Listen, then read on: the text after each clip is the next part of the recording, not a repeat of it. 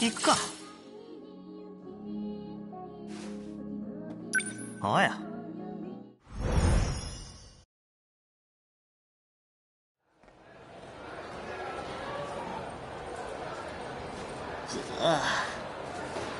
どうも頭が回らないな。おかしな夢のせいだ。夜中のテレビも夢だったと思いたいね。夢の中で俺は伊田哲也と名乗っていた。姿は俺でも。名前は違う。夢の中で彼女は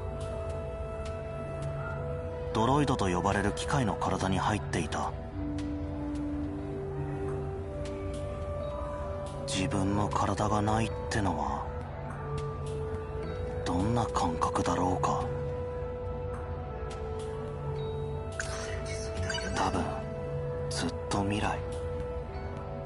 研究所みたいな場所の夢だ。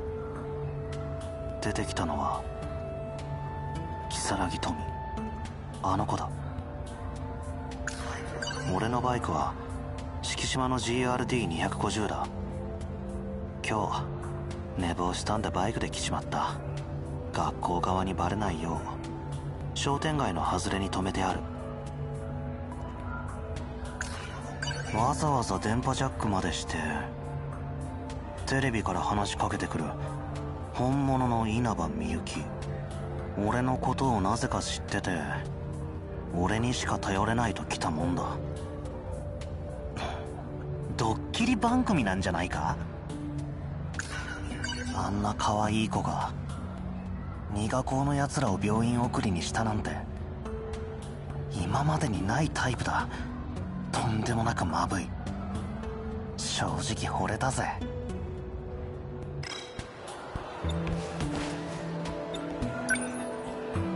如月富がいるな。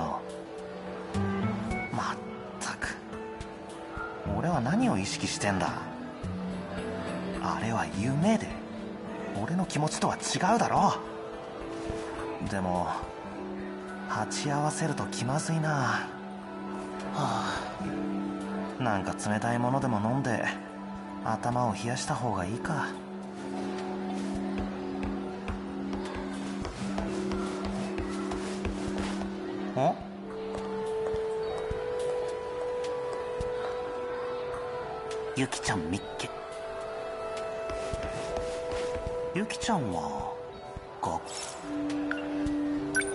行ってみるか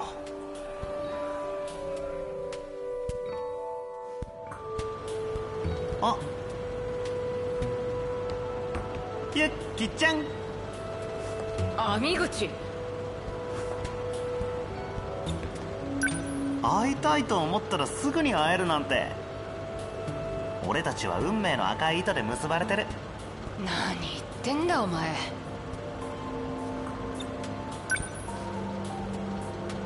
ゆきちゃん。その呼び方やめろって言ったよな。ヘイシーおいしい？ビタミン C はお肌にいいよね。なっちゃんが飲んでたから飲んでるだけだ。口寂しいんだよ。タバコがねえからな。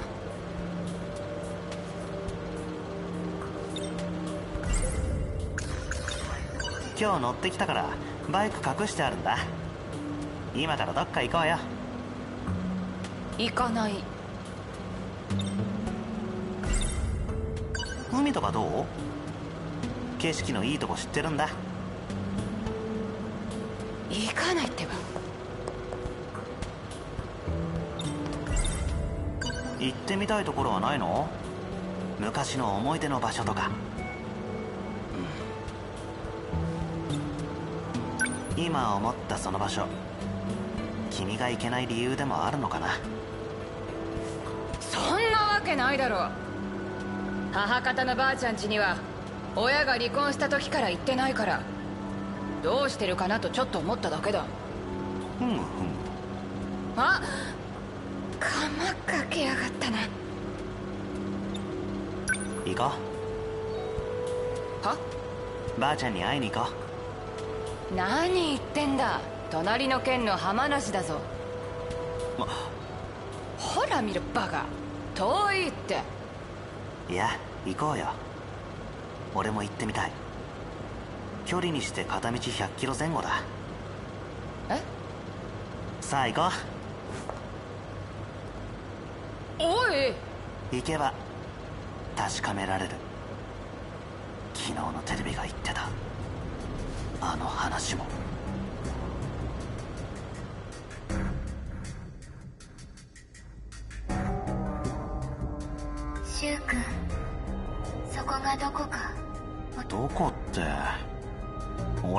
だろ？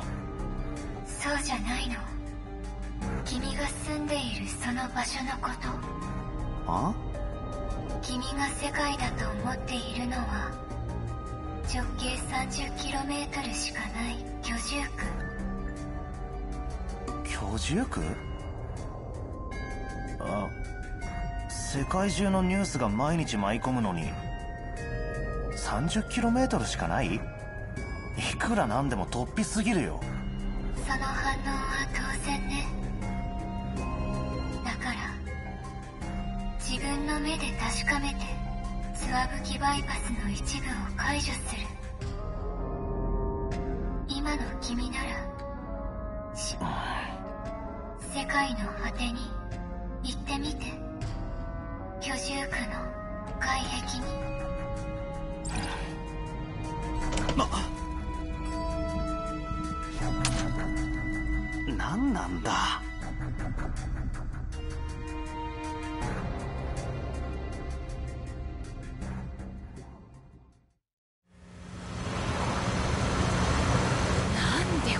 ことに。何？何か言った？無計画だな網口。俺なら往復で2時間以内だ。日が落ちる前に余裕で戻れる。それよりさおばあちゃんちの思い出教えてよ。田んぼばっかりの片田舎だよ。それで？ばあちゃん家には夏休みよく行ってた。朝もやん中あぜ道歩いてラジオ体操行ったりさ。俺の田舎でもそうだったな。昼にはばあちゃんがスイカ切ってくれてさ。川で泳いで魚手づかみで取ったな。裏山の欅にもセミ取りに登ったっけ。変だ何が？俺の祖父の実家にも裏山に欅がある。俺もクマゼミを取りに登った。へえ。川もスイカも同じような経験の記憶がある。田舎の思い出なんてどこだって同じだろ？それが変だって気づいた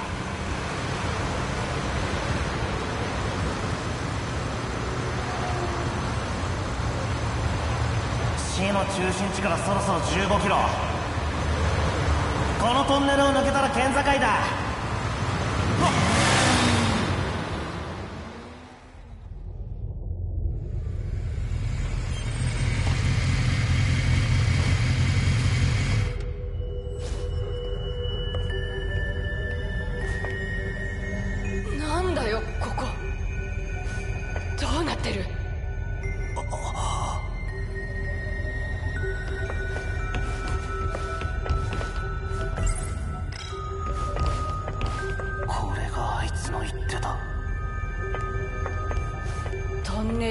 ネル工事にゃあ見えないな。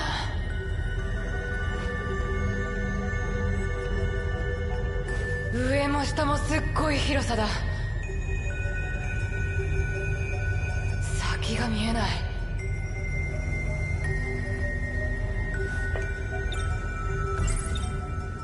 これが外壁らしい。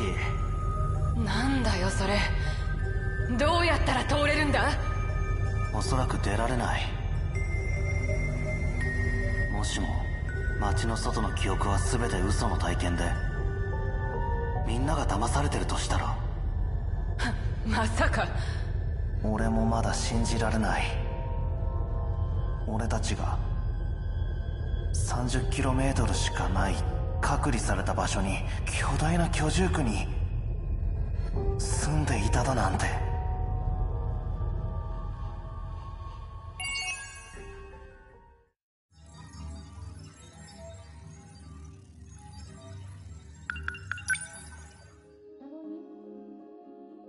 よし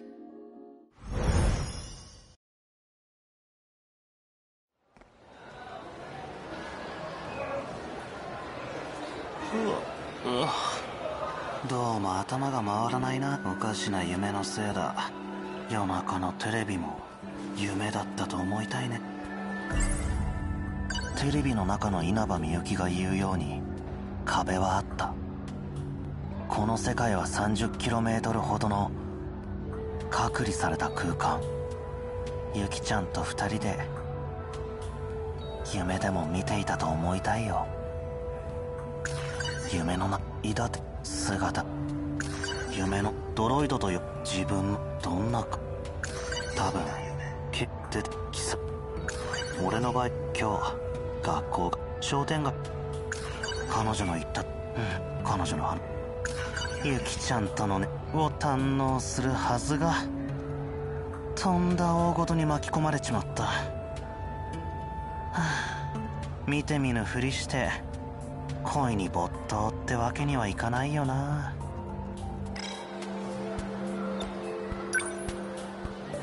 如月富がいるな。まったく。俺は何を意識してんだ。あれは夢で。俺の気持ちとは違うだろ。でもなんか冷たいものでも飲んで頭を冷やした方がいいか。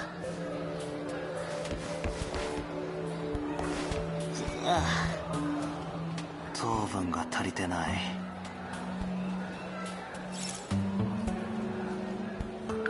ともかく燃料補充だ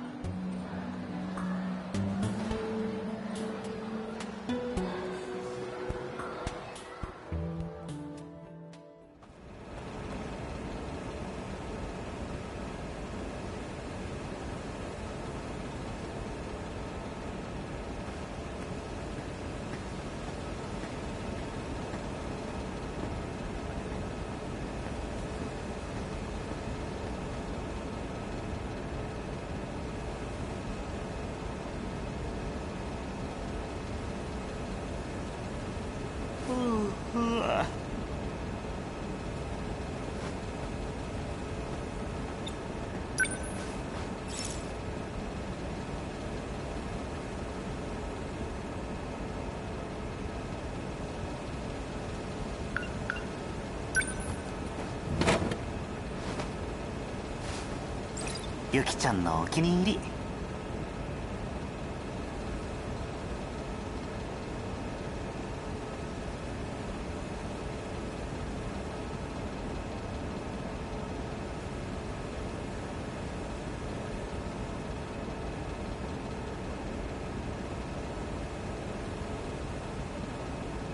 やっぱり迷ったらこれ。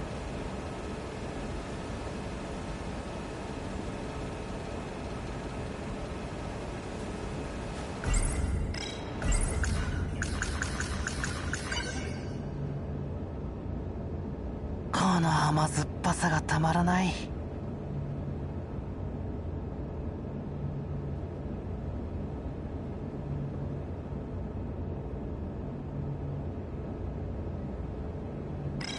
糖分も取ったし考えるか。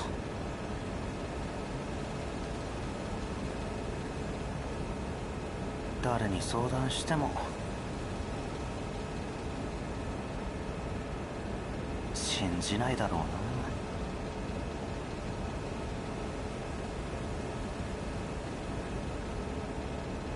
さてどうしたもんだか。網口君。なんだ？倉部君か。今日も一緒にいていいかな。別にいいけど。それじゃあ今日は君の家にでも行こうか？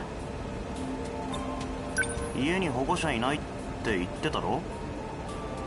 行ってみたいな。倉部君の家。ばあちゃんは親戚の家に行ってる。でも今はちょっと面倒な曲がり人がいてさ。だからまずいんだ。そっか。じゃあ俺の家行くか。うん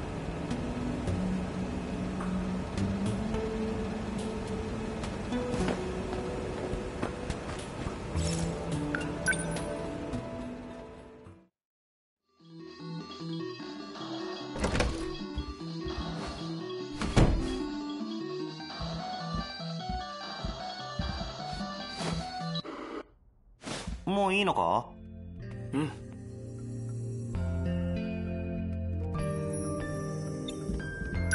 飲み物。炭酸しかないんだ。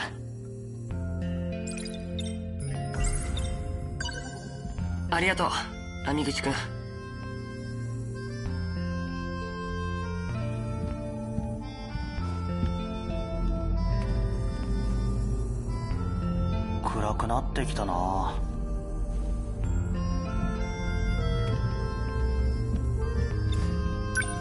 ろそろ飯食いに出るか。一緒に行くだろ。おごるぜ。この前もラーメン代出してもらったし。悪いよ。じゃあ今日はもう帰るのか？行くけど自分で出すよ。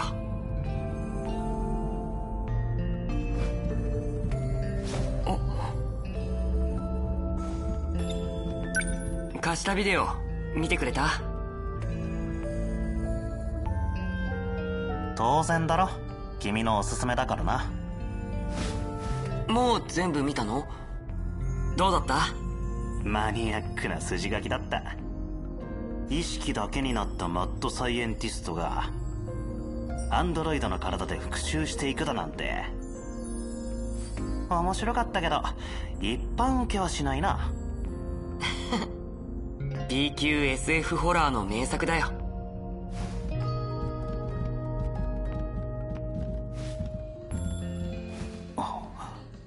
稲葉みゆきあ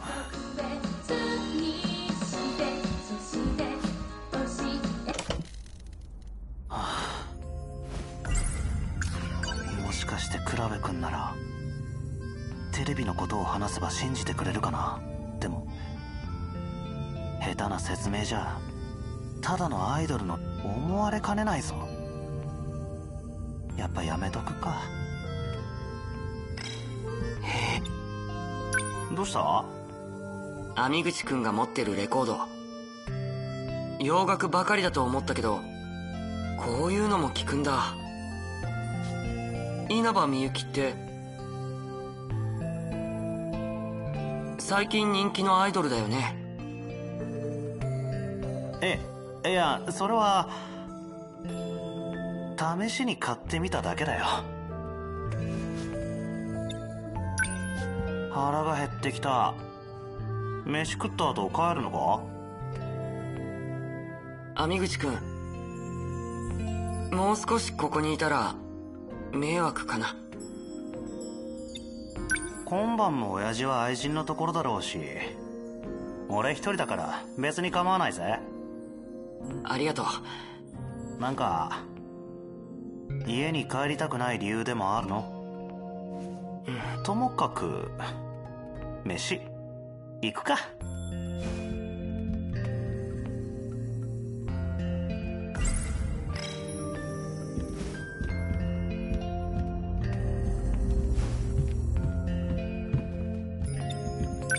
ついでにレンタル屋行ってなんかビデオでも借りてこよそうだ忘れてた。ビデオ。また忘れないうちに渡しておくよ。あの SF ホラーの続編。持ってきたんだ。君のビデオだよ。俺の？そう。君と俺のね。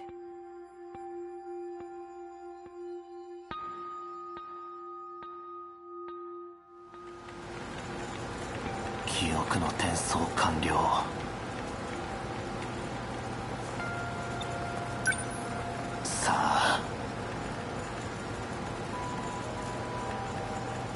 を覚ませ十郎。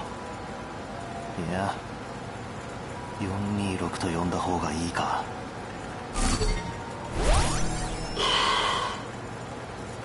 俺がわかるか？伊田哲也か。その姿。随分時間が経ったようだ。ネオ家はいつも同じセリフだな。お前が死んで3年。来年は22世紀だ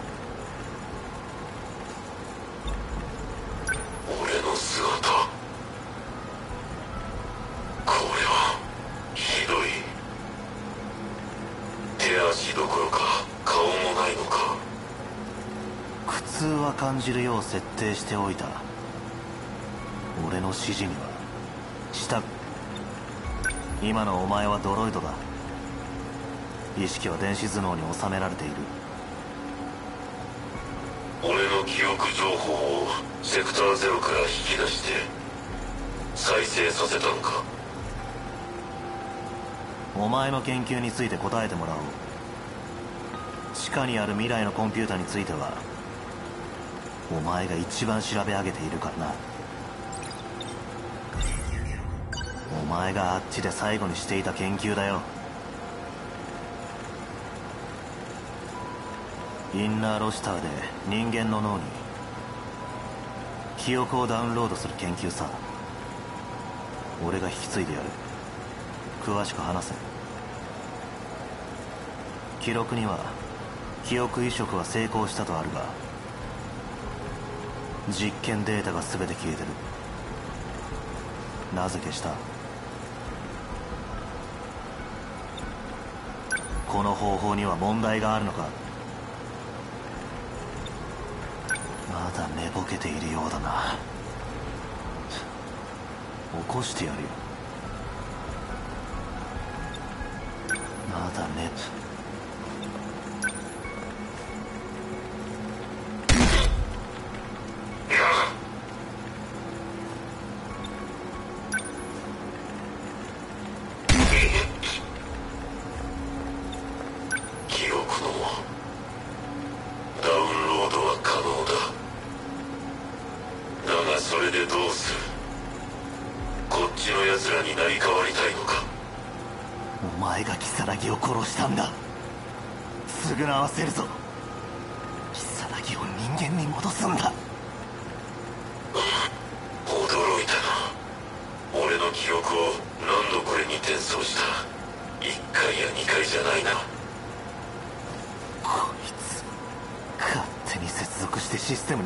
したな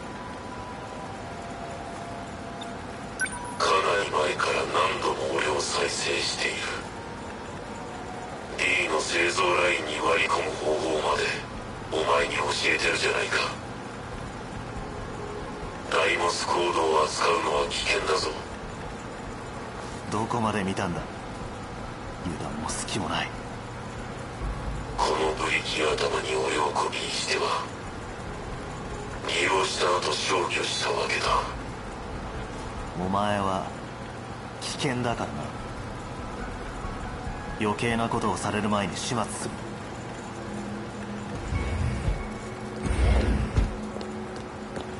井田君。どうしたんだ？森村さんから話は聞いたわ。この世界の如月富に私の意識を移すですって。そんな恐ろしい計画どうかしてる。待ってくれ。君は人間に戻れるんだ別の人間を犠牲にして。彼女は君だろ？君の心を君の肉体に入れるだけだ。何の問題がある？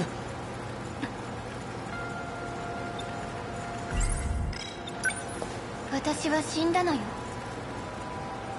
今の私は如月富を真似る機械心は本物だ君は君じゃないか。まだわからない。もう井田君といた女の子は戻らない。たとえ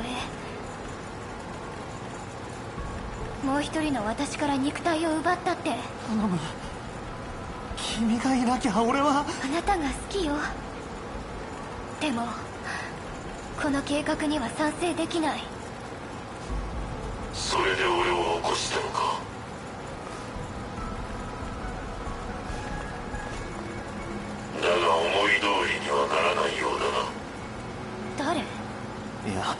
は。見たところ君の失敗は如月富をドロイドとして起こしたことだ。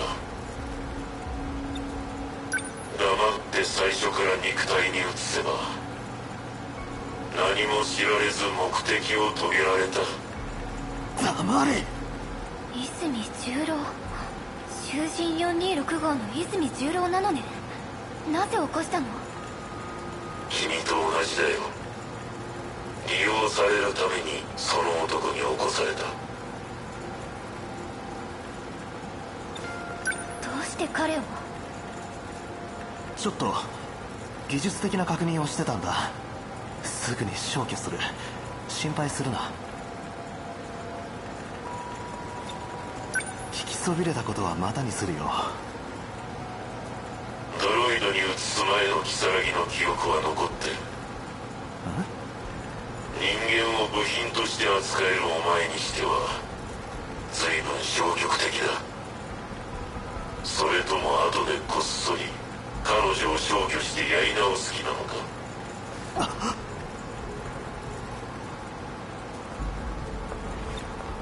もう黙れ。感情的になるなよ。俺もそこにいる如月もたかがデータだ。再セればよみがえる。俺のように。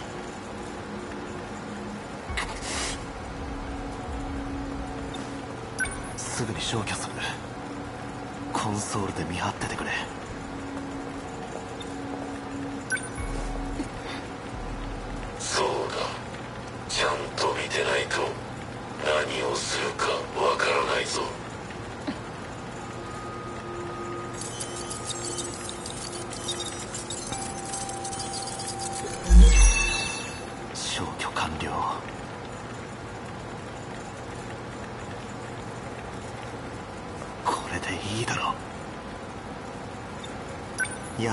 話など気にするな。怒っているのか？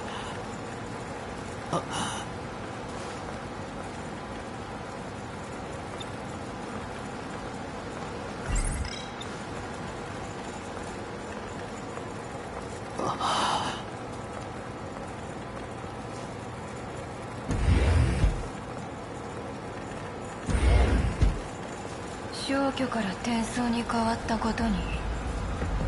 気づいていないな前に消された俺が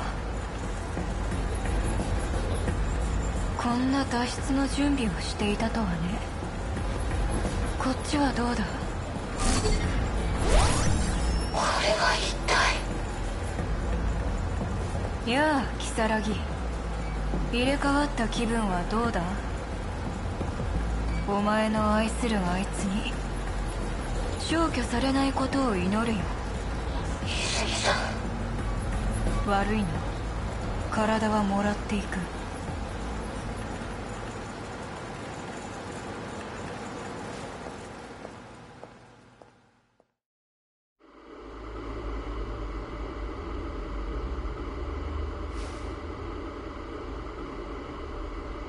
なんだビデオかけたまま寝ちまったのか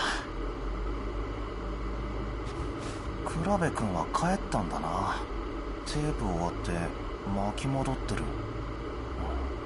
今の夢は前の夢の続きみたいだは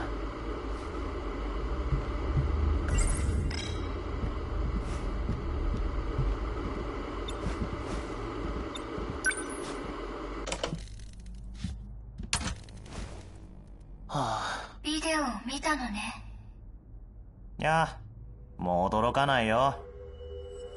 君はちゃんと網口柊のまま。見たけどさそれどういう意味？君が見たのはビデオじゃないの。あれは過去。すでに起きた出来事。そそれクラベ君に借りたビデオだぜ。もしそうだとしてクラベ君がなんで俺にそんなものを見せるんだ？彼も君と同様に過去彼自身は何も分かっていないわ。君の家に来る本当の目的も私と交信していることも。更新ゲームしたりビデオ見てただけだぜ。君にはそう見えるいつも夢に出てくるあいつの。君が見てるのは彼の過去。君と同じ顔をした。伊田哲也という人物の。そんなもの俺に見せて。どうしろと？彼の考えを知りたい。何をする気なのか。計画のリセットを考えているなら阻止しなくては。計画？計画って何の計画だ？何を企んでる？良くない計画じゃないのか？違うわ。箱舟計画。人類救済のため。別の惑星に移住させる計画。君たちはその計画の最中にある。あ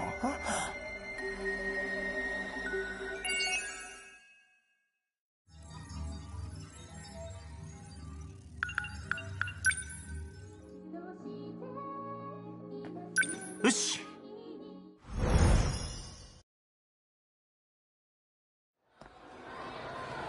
俺と比べくんおそらく冬坂も見てる夢は過去の出来事で。実はここが隔離されてるって。うわはい。アイドルの稲葉みゆきがテレビからそれを教えてくれた。こんなの誰に相談すりゃいいんだ。下手すりゃ頭の病院行きだぞ。テレビの中このせっかくゆき夢でもゆい名前だけじゃない。俺とあいつは全然違う。夢の泥じっと稲葉みゆきに言わせると未来だと思って実際彼女が言うには俺や比べく実際に起きた過去の飯田哲ゆきちゃんとの念願の初デートをた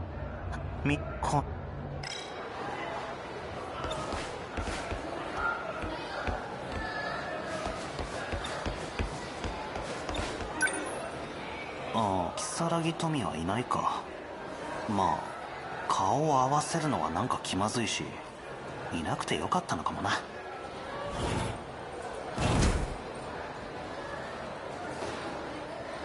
黒部君。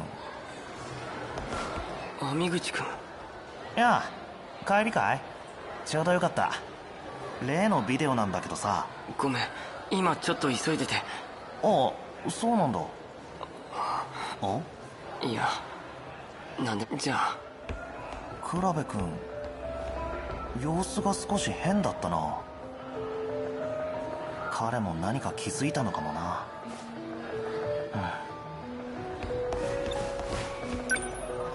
うん。ゆきちゃんはいない。そういや補習で忙しいって言ってたな。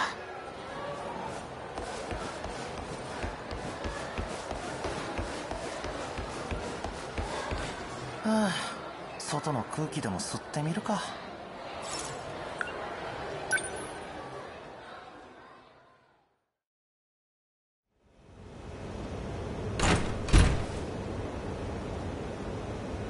やっぱり事実を公にするべきかな。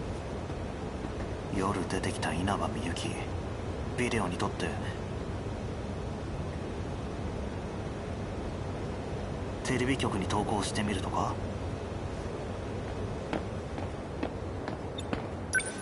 ぼーっとしてどうした？網口ち。ょっと待ってな。お前こそなんか疲れた顔だぜ。なんか悩んでんのか？ああまあ。俺よ。この前何日か学校バックレてただろ？そうだっけ？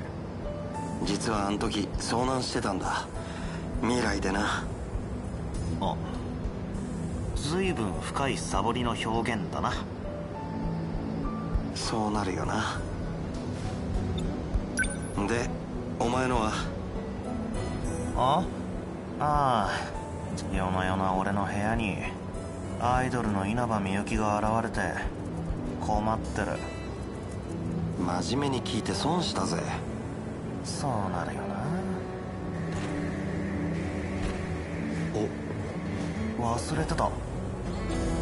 なんだ？C 組の薬師寺さん。朝呼び止められたんだ。話があるって。またかよ。たくムカつく野郎だぜ。邪魔者は消えるよ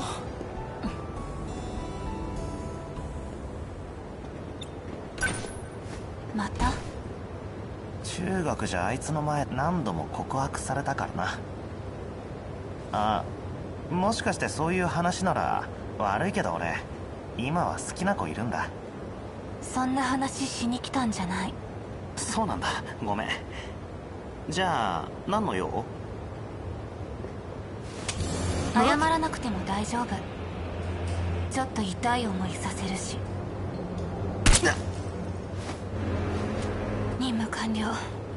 20番騎兵転送。何？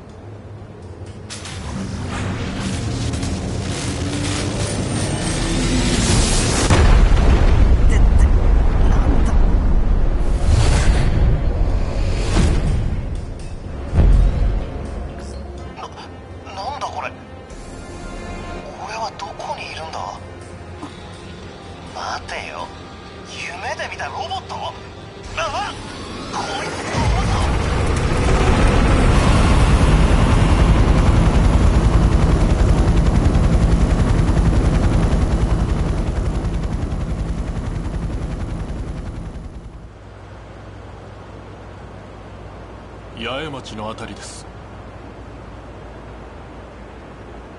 桜高校が近いな間違いない騎兵だ。各省庁と米軍にも連絡を取れ。スクランブルはさせるな。昭和の兵器では騎兵の相手にならない。誰が乗っているのかも。その目的も今は不明だ。東雲涼子を連れ戻しておけ。上昇している。何のつもりだ。あの騎兵は沖野が最後に設計した飛行型の軽量機。生産しなかったはずなのに。誰が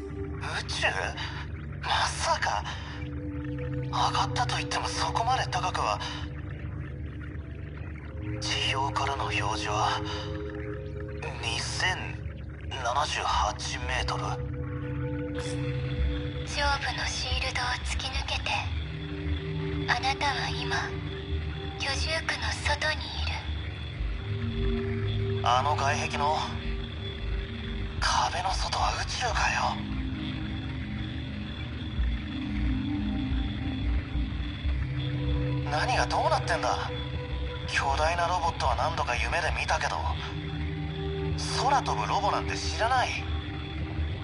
20番騎兵。あなたがその騎兵のオペレータ薬師寺はあんたの使いか？ー騎兵が転送されたのは不慮の事故よ。彼らに見つかってしまった。彼ら？別の居住区からああなたたちの世界に侵入した者たち別の居住区居住区ってのは複数あるのか？騎兵を隠さなければ。そこではこちらから何もできないわ。居住区内に戻って。戻るってどうやって？こいつプロペラだぜ。え？落ちる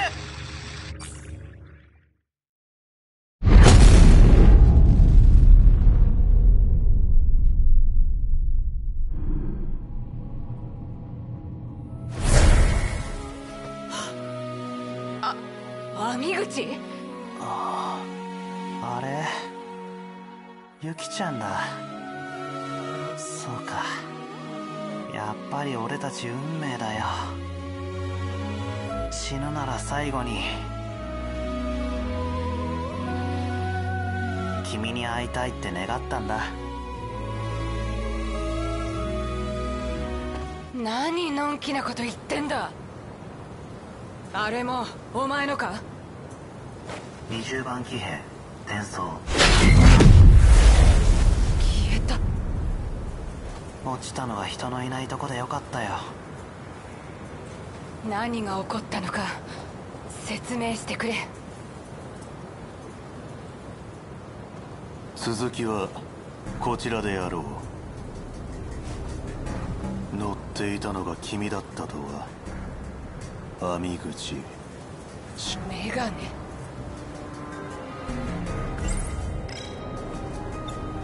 我々は政府の機関だ。我々に協力すれば安全を保障する。さもなくば収容施設域だ。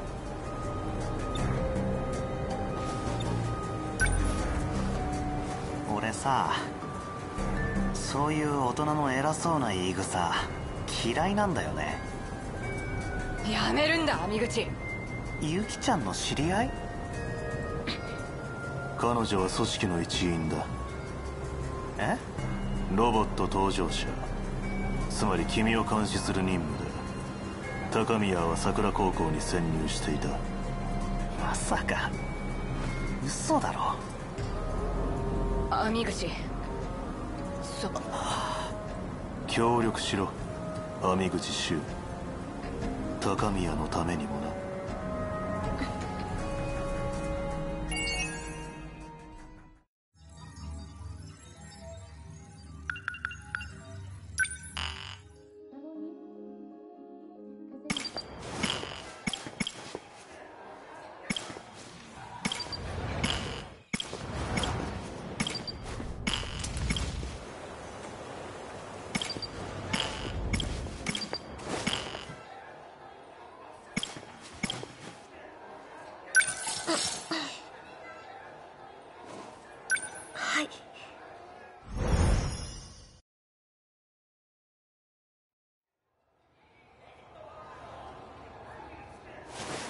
意識が戻ったわね。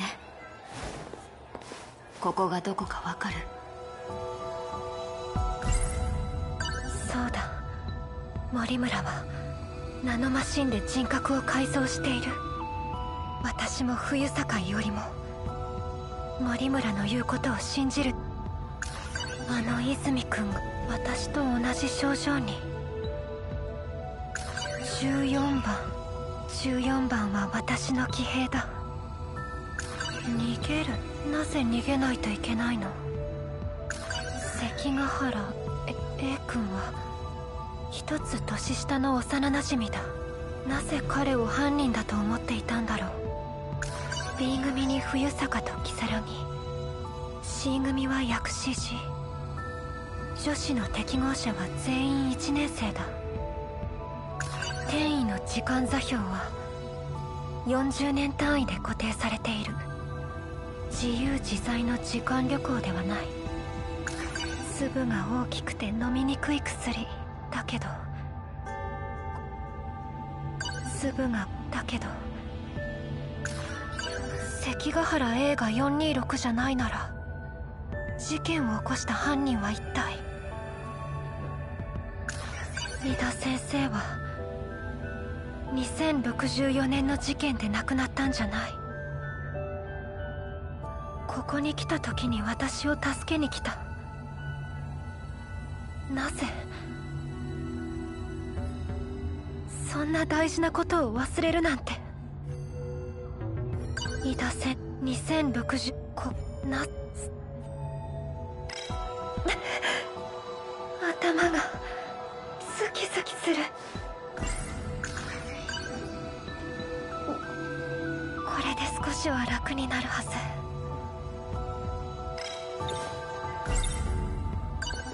頭痛がひどくなったら飲みなさい。少し強い薬だから副作用で一時的な記憶の混乱があるわ。安心して。すぐに。伊田先生はどこにいるの？2064年の戦闘から行方不明よ。覚えてない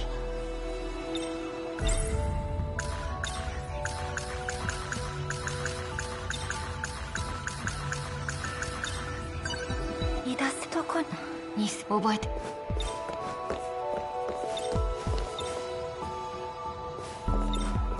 質問に答えて1908分かってるそそうちょっと薬を飲み忘れただけ時間移動はまだ無理よそれも分かってる治ったら教えてそうねきっとヒントは2064年のあの事件にある。大丈夫かい？まだ寝ていた方がいい。心配無用よ。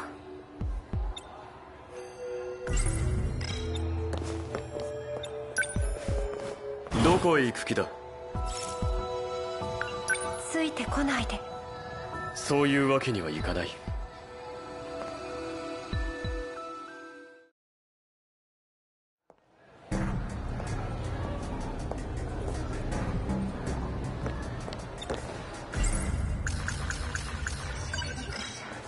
如月と如月さんちょっといいかしら？ゴート先輩。何かごよ。それで先輩は甘いものって好きですかあなた。困ったな。ゴゴートが気をと今のうちにそっといてあります？いや。薬師寺さんちょっといいかしら？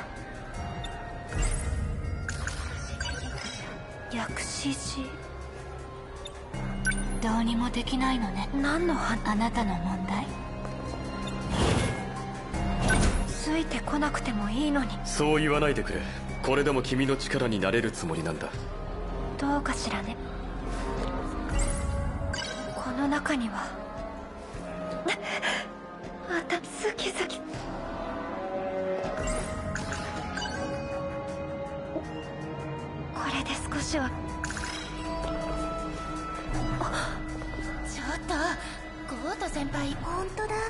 やっぱりかっこいいよね。聞いた泉君生徒会役員選挙。よかった。会長候ま補でしょ。たですか先輩？すからかわないでくださいよ。僕はクラベクラベ十郎です。ゴート先輩。すまないなクラベいいから言ってくれ。それではどうし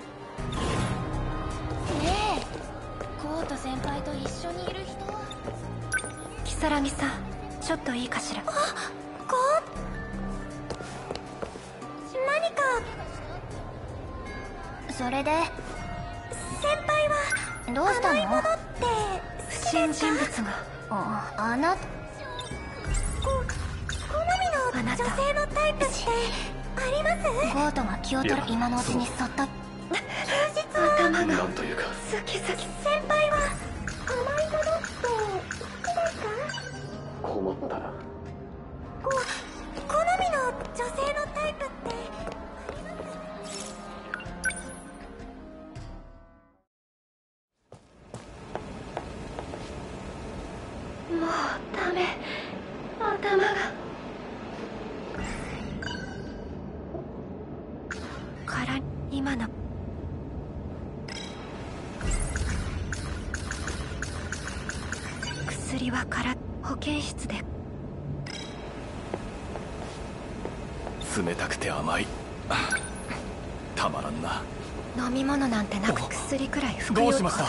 麗しいお嬢さん。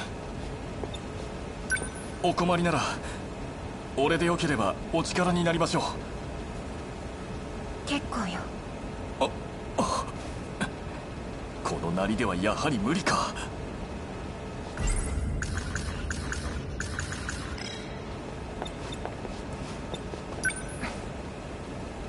飲み物なんてなくても薬くらい服い子供じゃあるまいしいたいたこっち。如月さん。なんでまた関ヶ原追いかけてんのよ。あなたは知らないでしょうが。騎兵を直すのに捕まえなきゃいけない。あ。いつが426だって言うんでしょ。知ってるの？あんたが言ったのよ。覚えがないわ。あんた森村に何されてるの？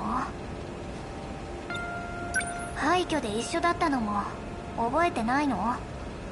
廃墟。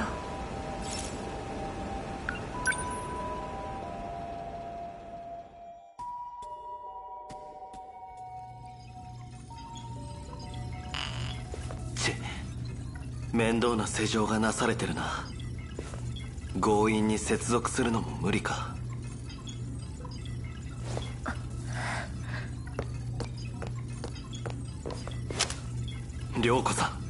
予想通りゲートの前に現れた。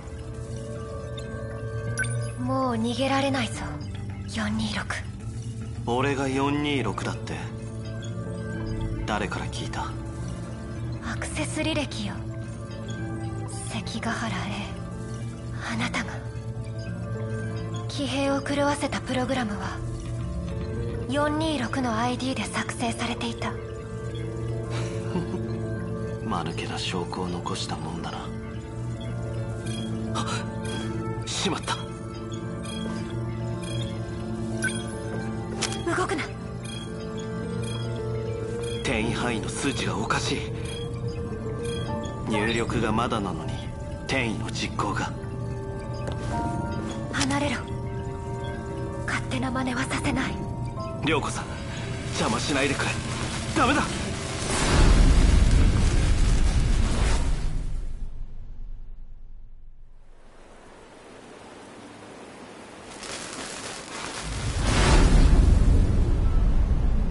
畜生転移したしかも移動先がずれてる。周囲にいた奴も巻き込んでしまった。まずいぞ。位置を追跡される。ゲートの履歴を消さないと。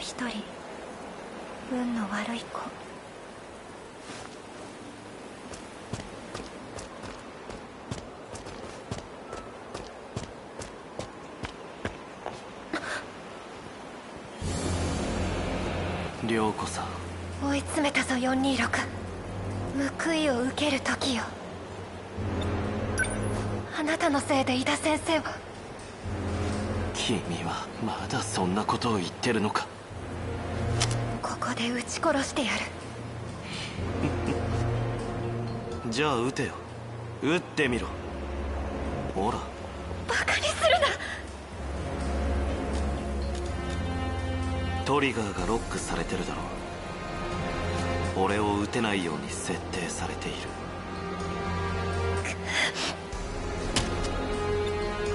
力ずくでだって。その怪我で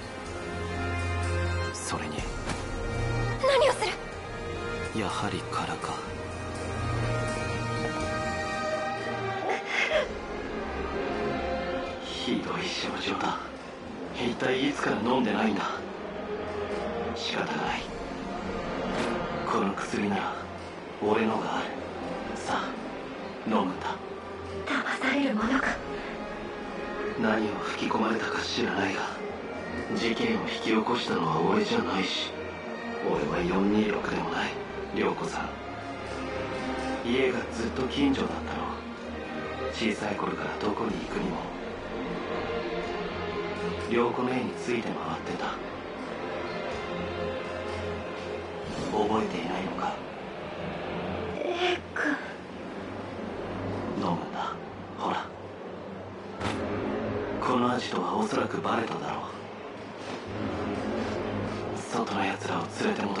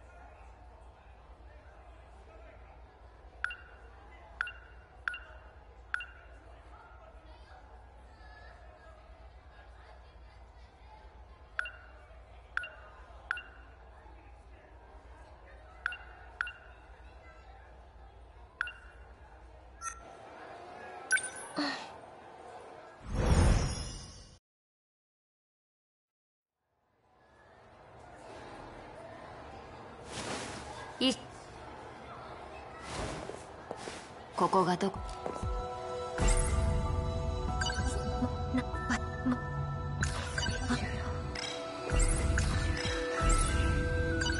注意になぜ A 君なぜ彼を B 組し女子の定員40自由すだけど事件を2000ここな大丈夫か？まだ寝てい心配。どこへ行く気だ？ついてこないで。そういうわけ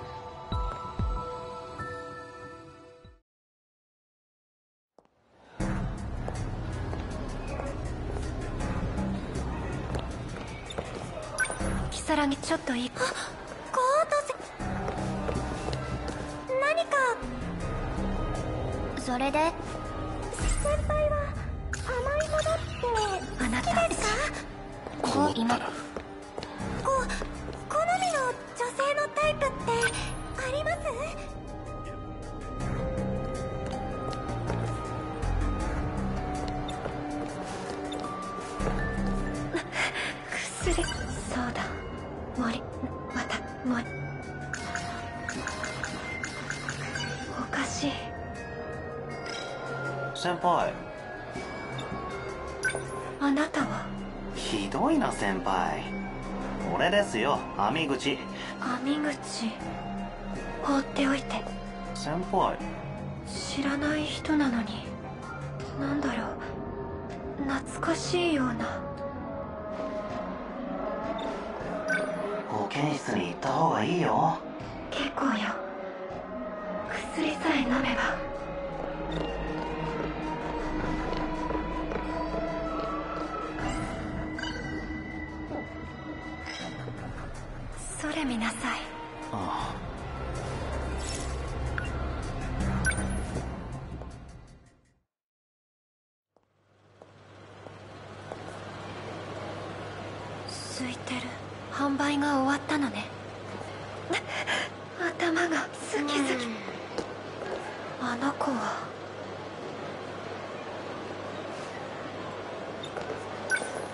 東雲何やってんだ？黒服がお前を探してるぞ。私を？ああなた誰？お互い特務機構の潜入要員だろ。また忘れちまったのか。潜入要員？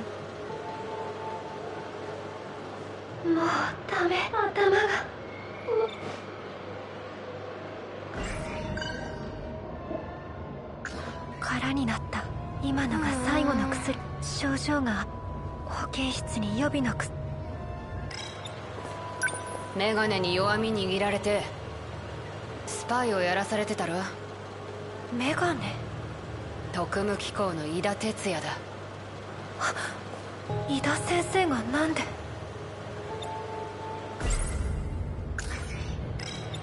本当に覚えてないのか？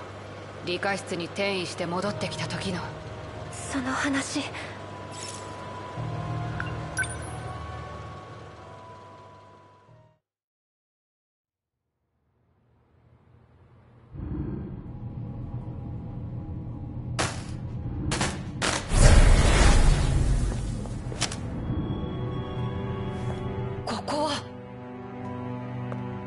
セクター4桜高校だよ。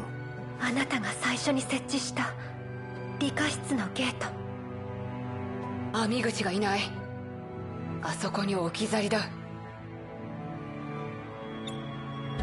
本心を聞かせて井田先生。私は利用されているだけ。利用されるのは構わない。あなたが望むなら先生の気持ちが他の子にあるのは許せない。先生はあの子とやり直すために私たちを見捨てる。東雲君落ち着きたまえ。勘違いだ。研究室の映像を見てずっと苦しんでた。君は混乱している薬を飲んで。決めたの。今日で決別する。スタンモード解除。ま待て東雲君さよなら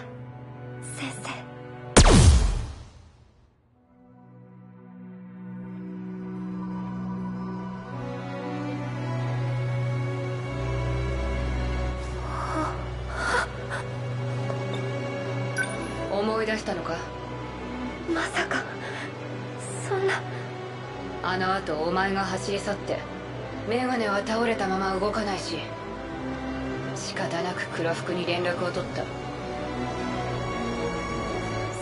生は無事なの？知るか？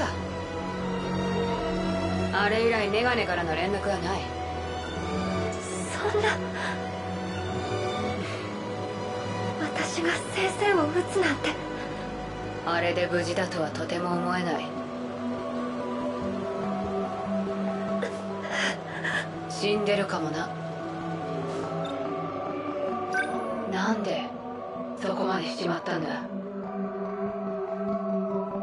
映像を見たから。何を見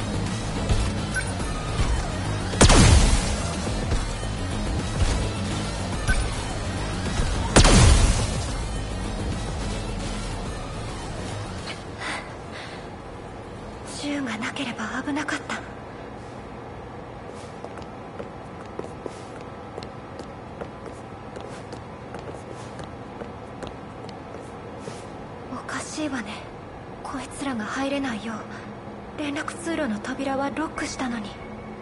監視カメラに何か残ってないかな。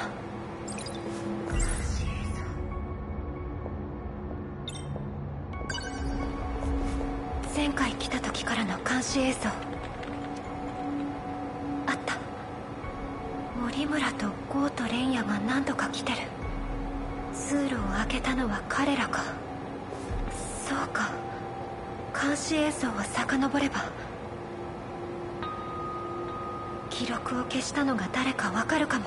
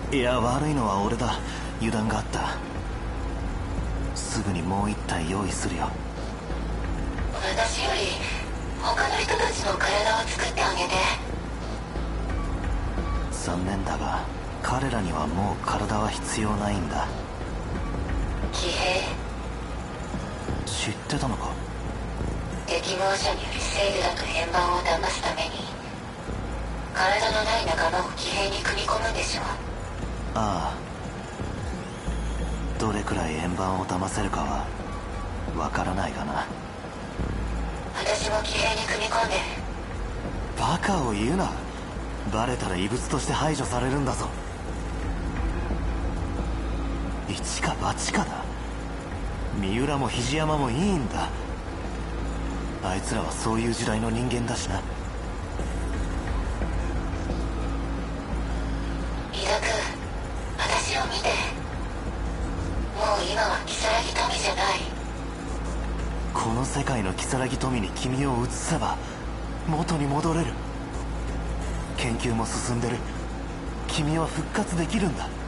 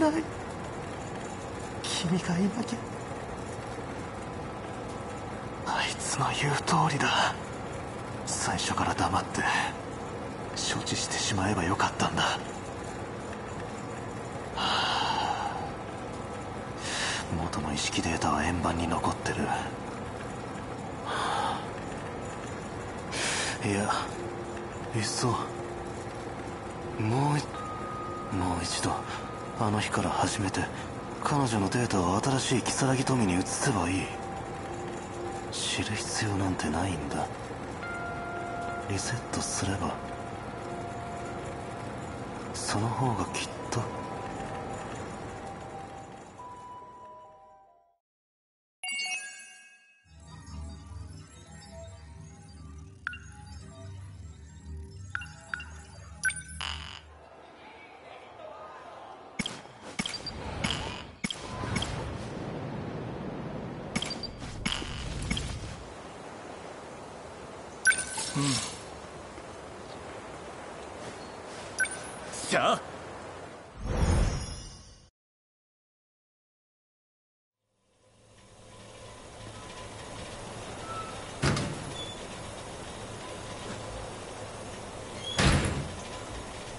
学校へ行こ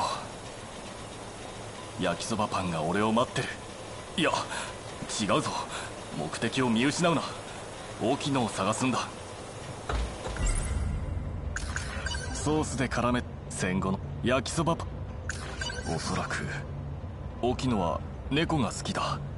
いやだからなんだというわけではないのだが。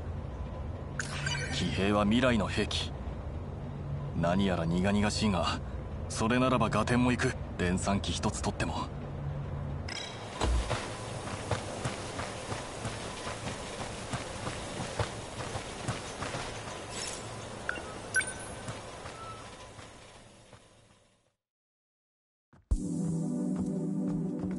さて大きいのはどこだ？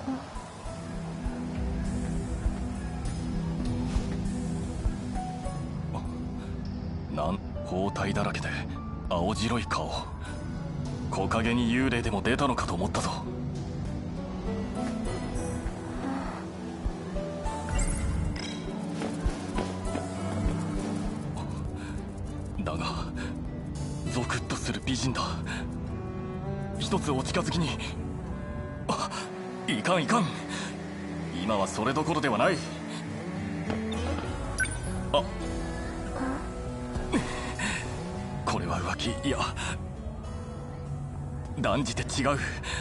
そもそも沖野は男だ。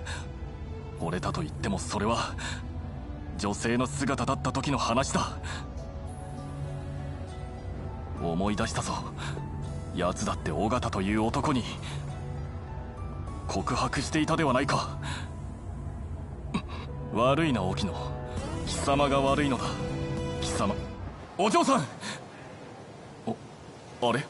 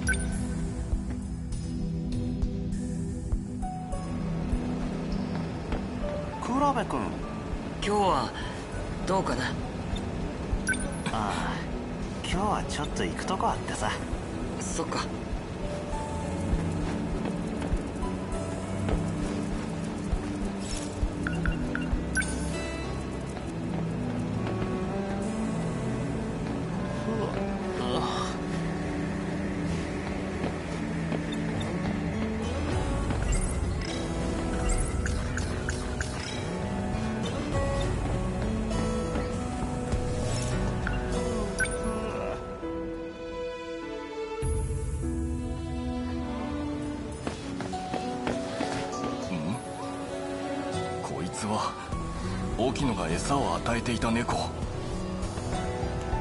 あの猫ちゃん学校に住み着いているんだね。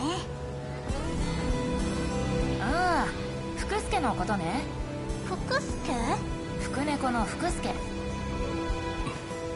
こいついろんな名で呼ばれているのか。なんで福猫なの？あの子の近くでお金拾うこと多いんだって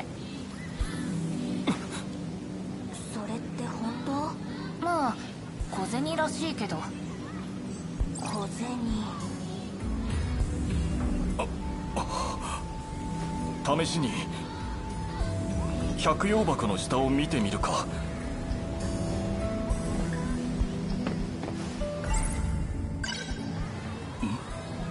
これは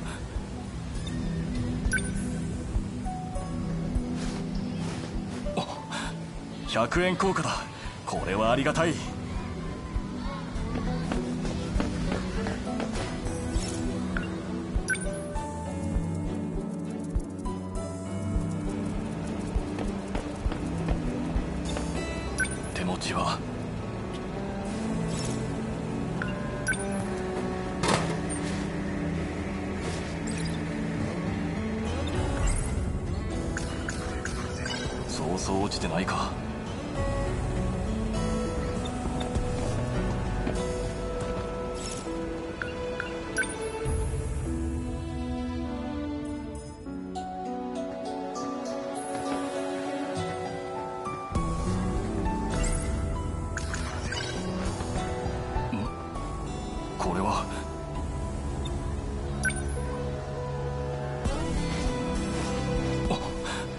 100円硬貨だ。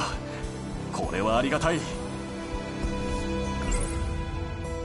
そうそう落ちてないか。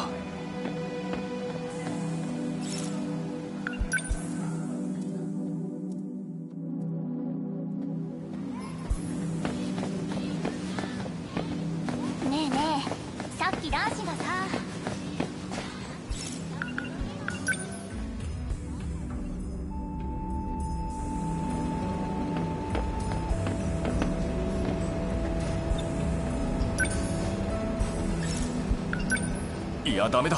ジュースは1日1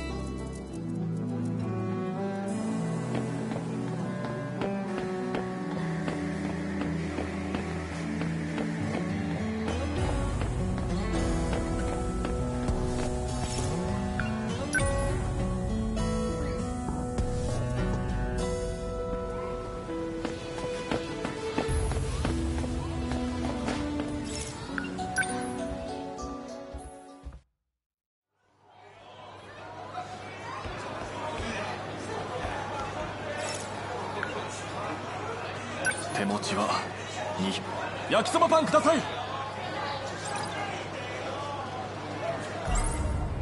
待たせたな焼きそばパン。よしよし今食べてやるぞ。ほんうん。うまい。うますぎる。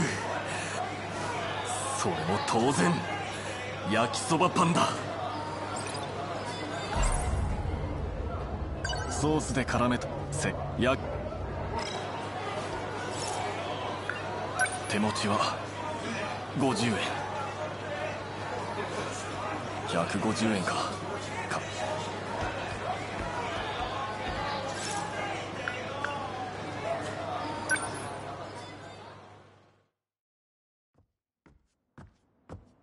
沖野のやついないな。学校に来てないのか。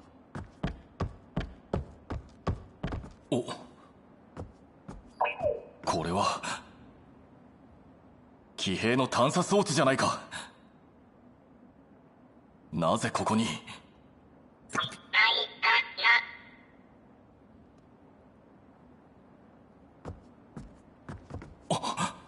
こいつは。貴様神社で俺を時間旅行させた。どうした？動けない。沖野がこいつも。やったのだろうか。まさかこいつも背負ってアジトに連れて行けというのか。面倒だな。俺は別に沖野の子分じゃないんだ。そこまで気を回す必要はない。待てこいつめ。騎兵の装備がなぜここに？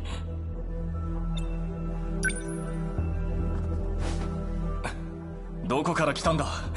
調べてやる。なんだ？どういうことだ沖野？高俊どうしたの？組み込まれているシステムだ。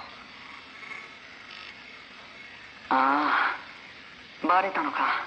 沖野？東雲博士が見つけたんだ。ダイモス本気か？あれは俺が子供の頃流行った。怪獣のシミュレーターじゃないか。別に何も問題ないさ。人類最後のコロニーをゲームで管理する気か。機能させているのは環境管理の部分だけで。怪獣は街を壊しに来ないよ。しかし一から構築するより早く完成しただろ？愛する人の言葉を信用できないのかな？仕事はもう終わり。僕たちは人類のために十分貢献した。このコロニーの生命維持が持つ間は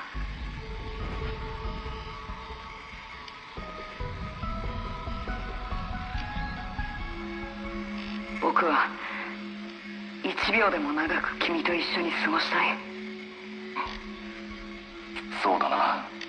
俺もお前を抱きしめていたい。東雲博士にはうまく伝えておく。ありがとう。愛してるよ。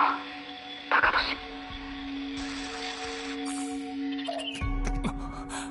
俊。なんだ？これは？まさか。あれが俺か。なぜ沖野と俺が？嘘だ。おい今のは何なんだ？もう一度出せ。こ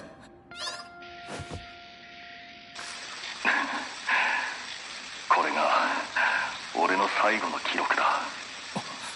さっきと違うぞ。司が死んだ。救命装置が使えない俺の命もあと数時間。なんでこんなことに。箱舟計画のエネルギーをめぐって揉めた。司も計画を中止し生命維持に回すべきだと主張した。尾形たちが銃を持ち出さなければ。いや悔やんでももう遅い泉さんが司を撃っただから俺も彼と仲間を撃った生き残っている。のはおそらくあの場から逃げた東雲博士と井田博士そして瀕死の俺ぐらいかコロニーは壊滅的だ。もう20時間もつまい全てが終わる。人を守りたくてここに来た。だが俺は仲間相手に殺し合いをして死ぬ。もし箱舟計画が成功して本当に生まれ変われるなら守るための人生であってくれ。みんなを。司を。生まれ変わり沖野が殺される。今の映像は何なんだ？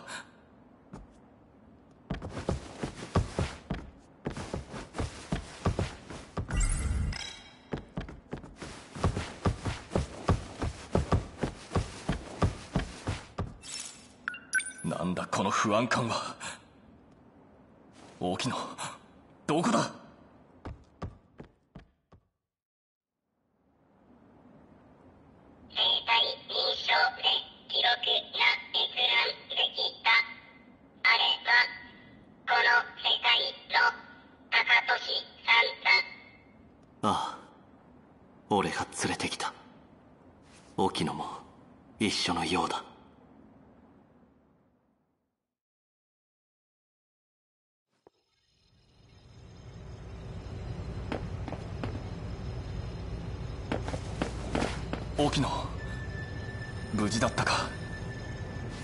肘山君。そんなに慌ててどうしたんだ？何？やはりあの映像は沖野だ。あれは何だったんだ？僕の顔に何かついてる？学校には行かなかったのか？ああ今日はちょっと時間旅行をね。もしかして学校で僕を探してたの？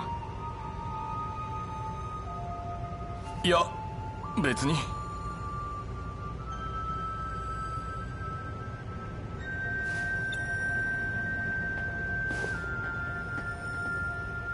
まあ。無事でよかった。いいわけがあるか。なぜ俺が沖野を見て安堵せねばならん。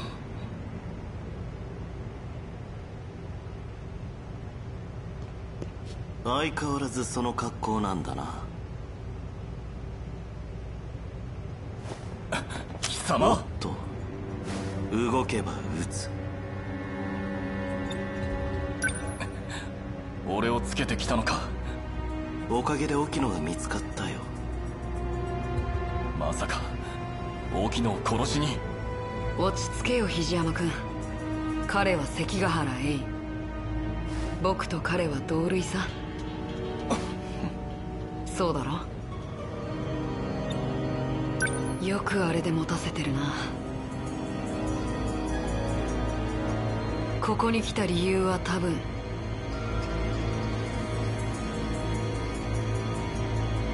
僕と一緒になるため。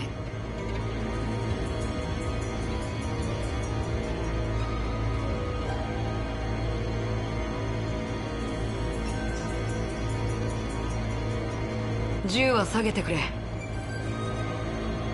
もう逃げたりしない。沖野。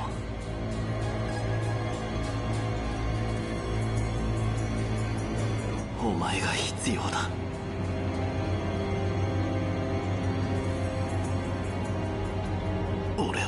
助けてくれ。いいね。素直な君は好きだよ。貴様がまさかその 君はどうするの？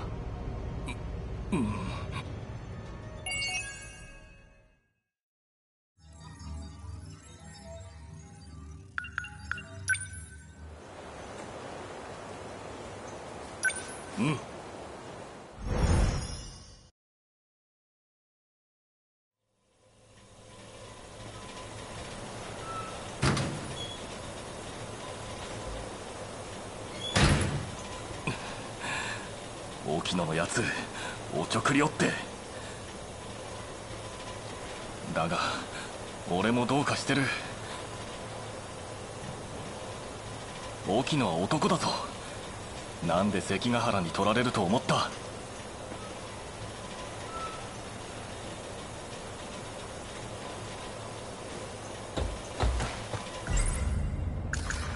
ソースで絡めたそばを戦後の世界でこれだけは。焼きそばパン。沖野目。悪ふざけ。それあの映像は確か生まれ変わりが騎兵は未来の兵器何やらに連鎖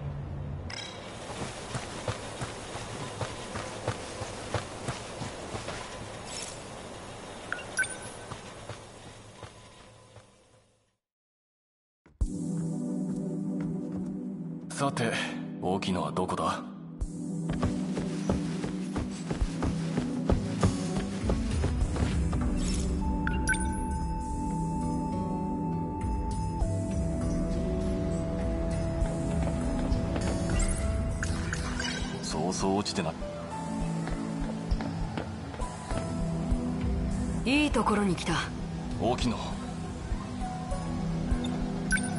これから情報を得るために保健室に入り込む。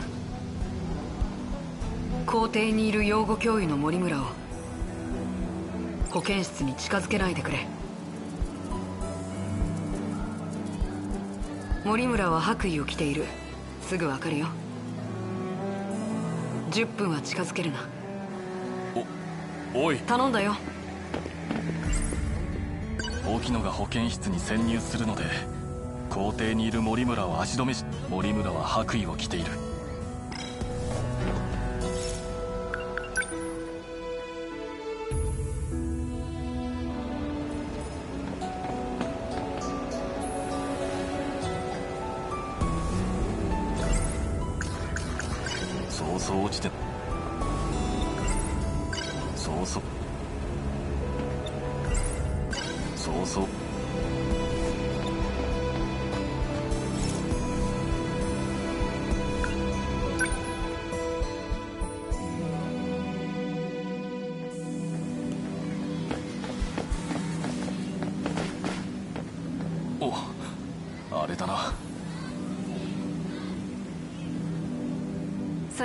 願いね。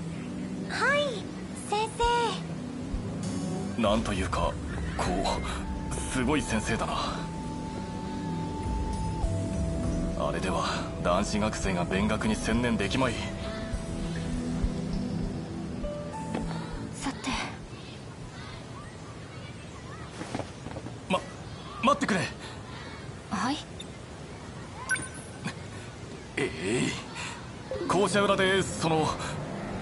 怪我をした生徒が。もうすぐ保健室に連れてきなさい。いいえそれが。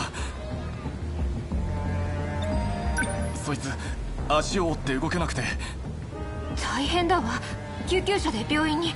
いや足は多分大丈夫です。腕をすりむいていや全身です。行って見てやってくれませんか？うちの学校の生徒ではないわね。そのボタン。二学理工業の制服ね。先生をからかう遊び。バレた。君は何年生？名前を言いなさい。生徒指導室に来てもらうわよ。担任の先生は誰？君は何年？名前を言いな。そ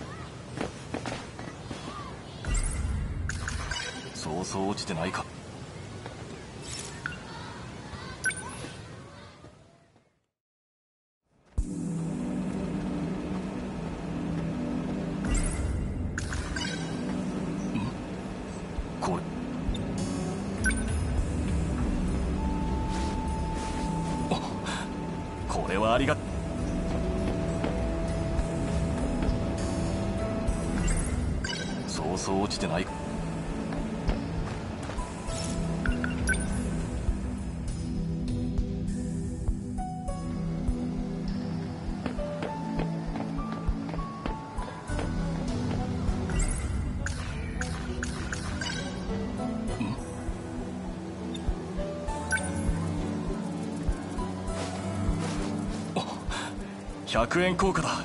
これはありがたい。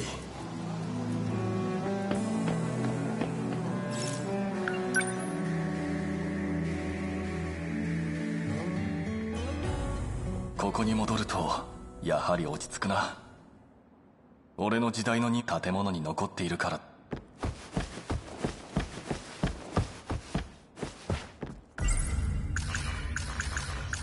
騎兵に乗るため猛特訓をしていた頃はこんな目に遭うとは思いもよらなかったな。騎兵に乗るため猛特こんな目に遭う。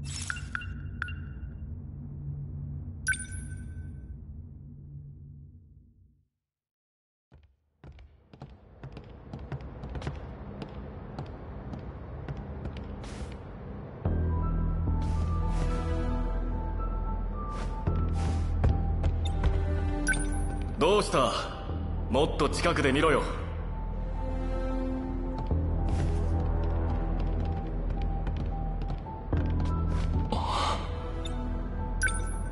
どうだ？これを初めて見た時は俺も興奮で言葉が出なかった。これが騎兵。そうだ。腕や足がついていてまるで鉄の巨人だ。そうとも2000トンの無敵の鉄人だ。正面の戦艦並みの手法がわかるか。俺も詳しくは分からんのだが創薬ではなく電力磁場というので1トンの砲弾を飛ばすそうだ。1トン。長門の手法並みじゃないですか後部に装備された新型噴身弾たるや弾が自らを操縦して必ず当たる。まさか。旧来の戦術を覆す代物だ。それが本当なら神の見業だ。科学小説の話でも聞いている気分です。同時博士の話では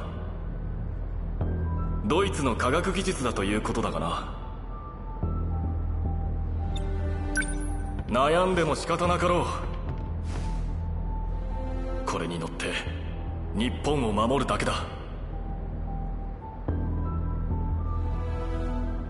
俺がダメなら貴様の仕事になる。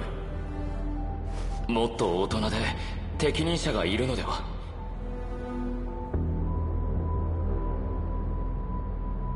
なぜ自分たちのような若輩が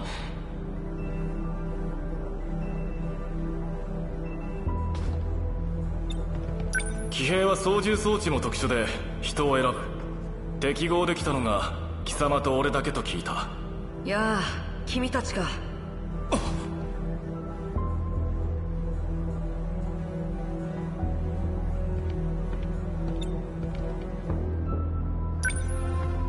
きキリコさん！なぜキリコさんがここは機密のはずでは？ああほら博士の使いで書類を届けに。そうだ慶太郎。博士の娘さんだぞ。許可はもらってるよ。来てくれ。君たちの同調接続調整を始めよう。いや博士がそう言っていたよ。伝えに来たんだ。わざわざすいませんキリコさん行こう慶太郎。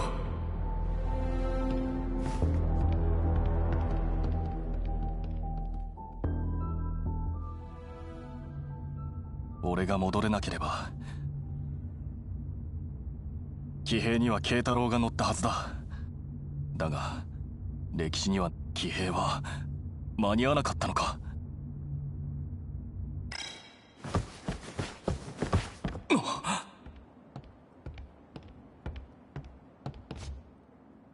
まさか。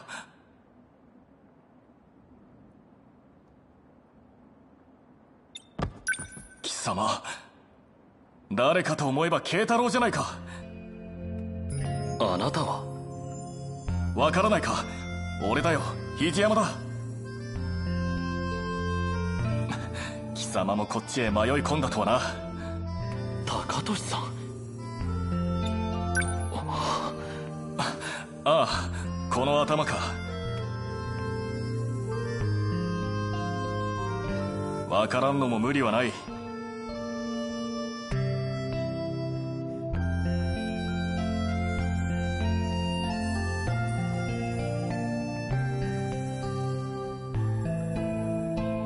半年もここで生きてきた。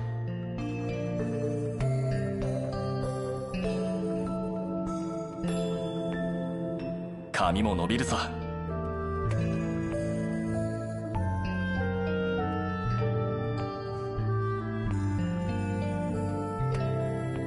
よく見てみろ。俺だ。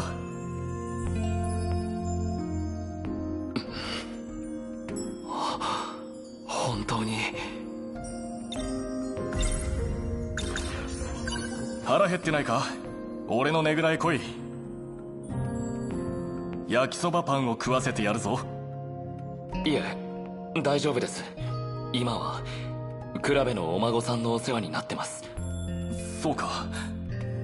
だが焼きそばパンは一度食うべきだ。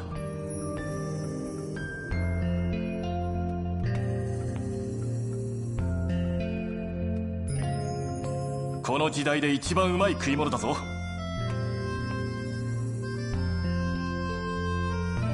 高俊さんは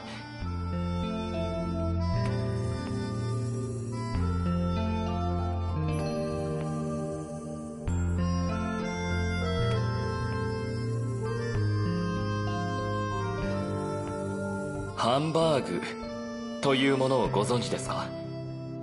ハンバーグ？おそらくこの世で最もうまいものです。そんなわけがあるか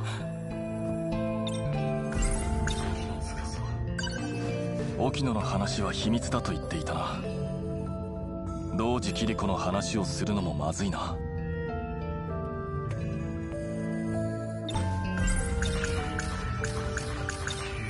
騎兵はどうなった？それが私は騎兵でこの時代に来ました。騎兵で来た？騎兵にも時間旅行の機能があるのですなんだと。やはりあれは未来の兵器なんだな。騎兵はどこだ？こっちにあるんだろあるにはありますが動かせません。その上この時代の政府と敷島に取られてしまいました。なんてこった。あなたが急に姿を消したのは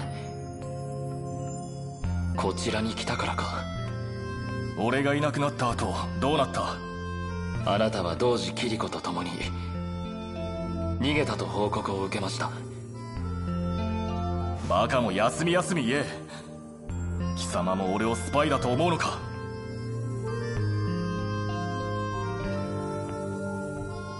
まさか仮にそうだったとしてもあなたはもう咎められたりしない。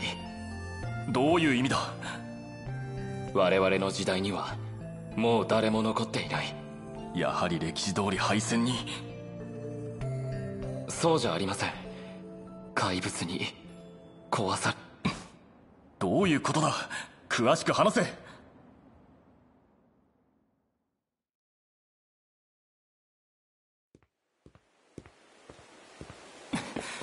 待てよ沖野。慶太郎が言ってた怪物ってのはちゃんと説明しろ。もうおい。あここは。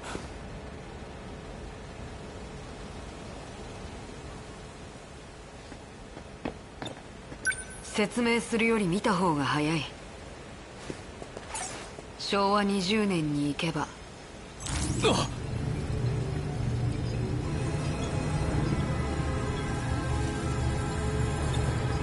やはりこの神社が時間旅行のための場所なんだな。行くだろもちろんだ。出発しよう。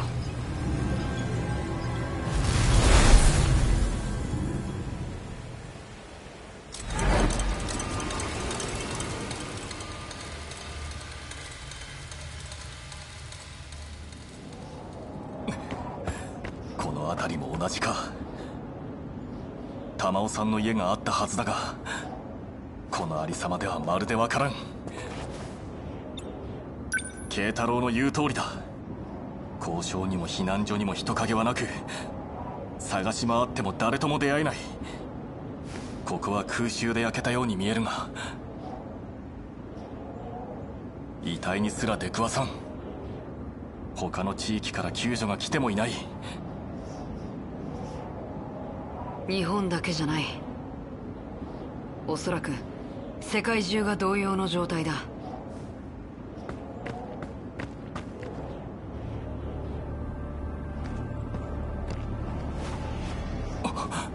な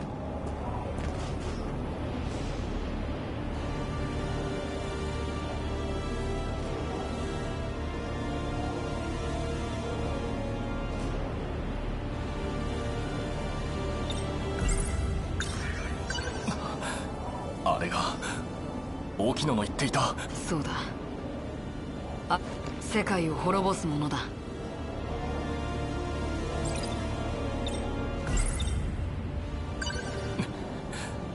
皆はあれに食われたのか。食べないよ。囚われたんだ。地下にある円盤。円盤？ダイモスはこの下に埋まってる巨大な円盤を狙ってる。あいつらが円盤に接触したら円盤が人を転移させるその目的も転移先も不明だ。おふくろも玉緒さんも。そいつに捕まってんのか。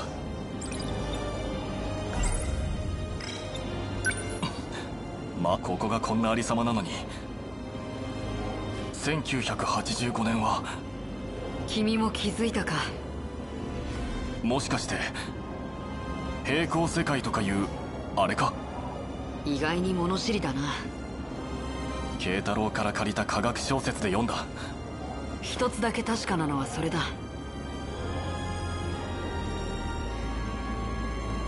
ここと向こうは時系列で繋がってない。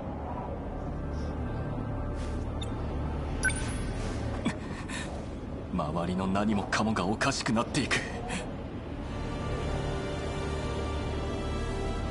悪夢なら覚めてくれとても現実とは思えん。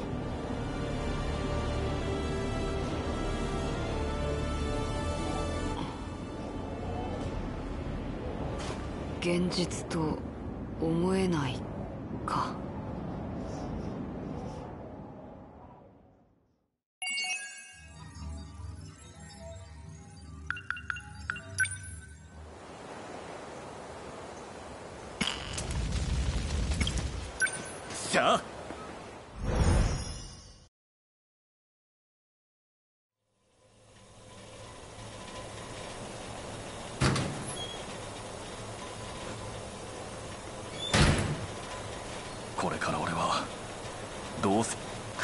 変わり果てる前に戻って騎兵で戦えるのならまだ巧妙がある沖野が言うには。だが沖野なら 結局頼ることしかできないんだな。俺は。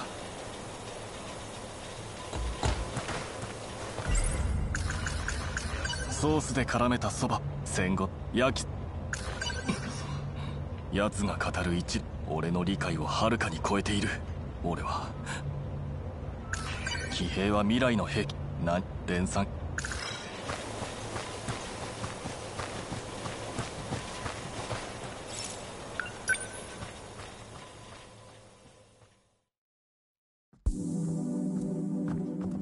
さて大きいのはどこ？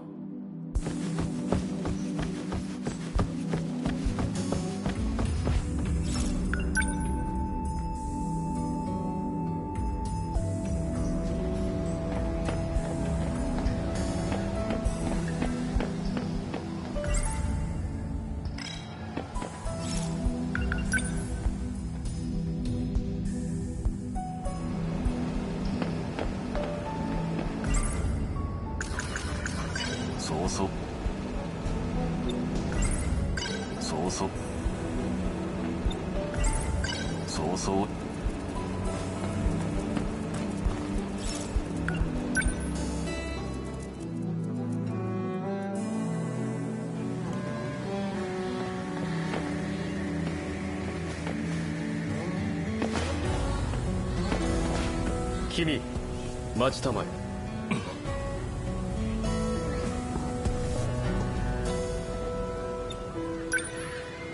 随分風紀の乱れた格好だ。これしか着るものがないんだ。君のような生徒がこの学校にいたかな？見覚えがない。どこの細かいやつだ？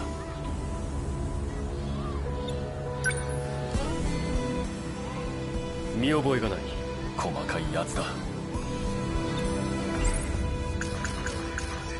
そうそう。元気ないね。わかる？なんかあった？教科書を間違えて。次の日の科目で用意しちゃってさ。あるある。そんな時に限って。先生に問題当てられちゃってさ。あっちゃー。災難だったねそうそう。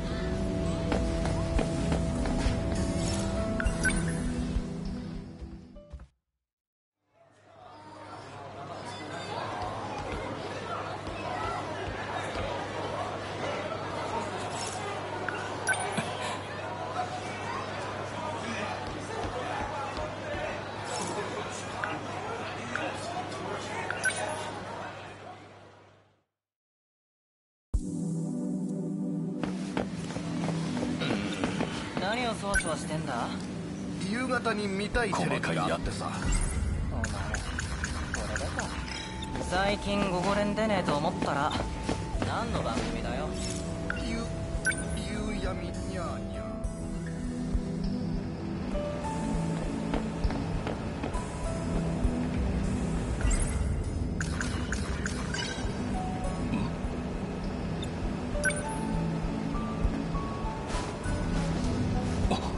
これはありがたい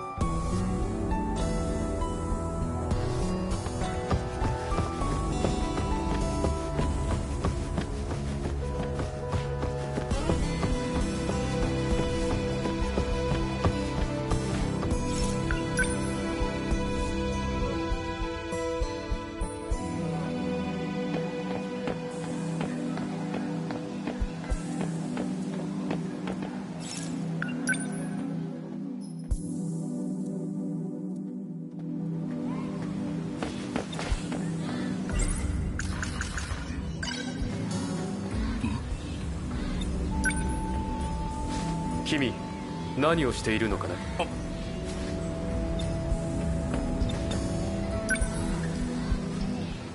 細かい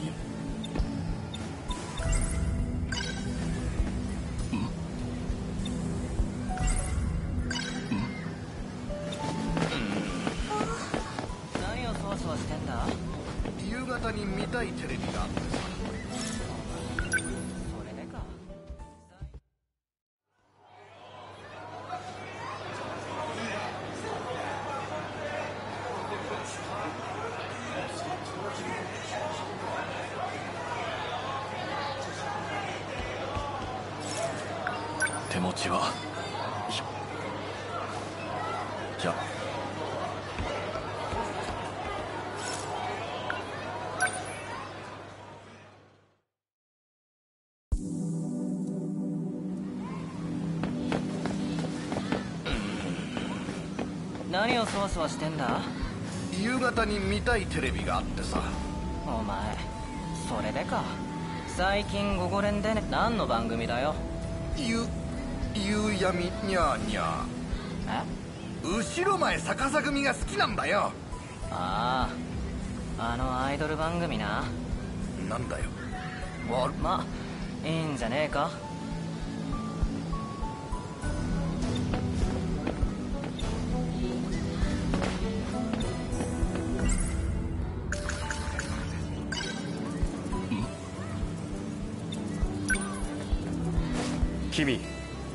何をしているのかね？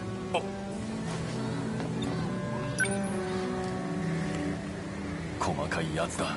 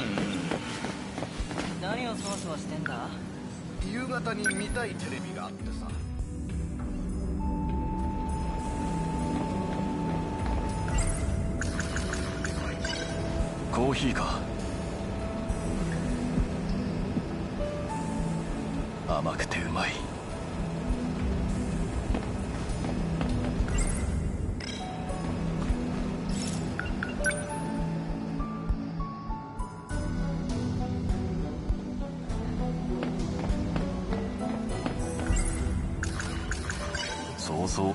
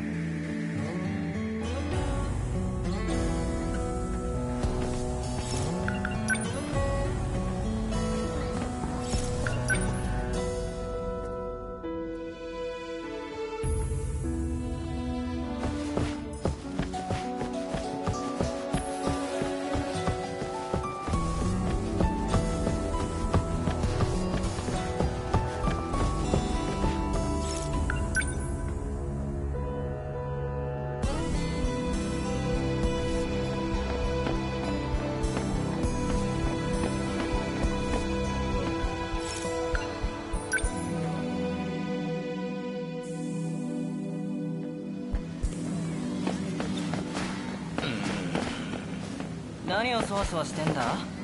夕方に見たいテレビがあってさ。お前それでか。最近午後連出ね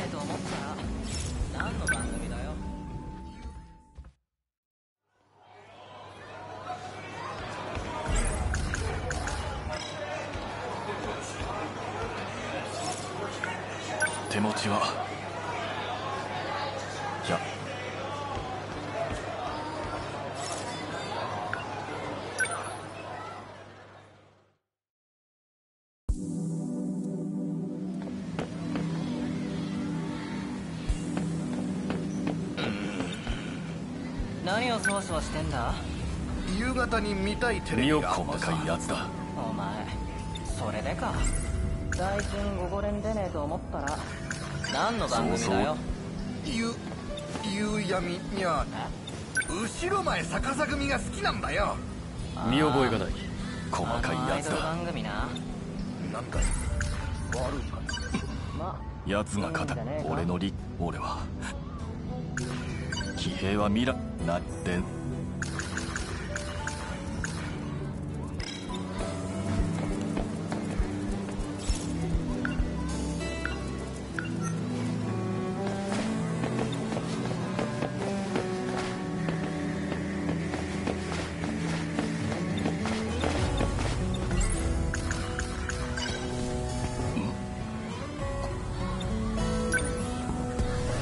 君何をしているのかね？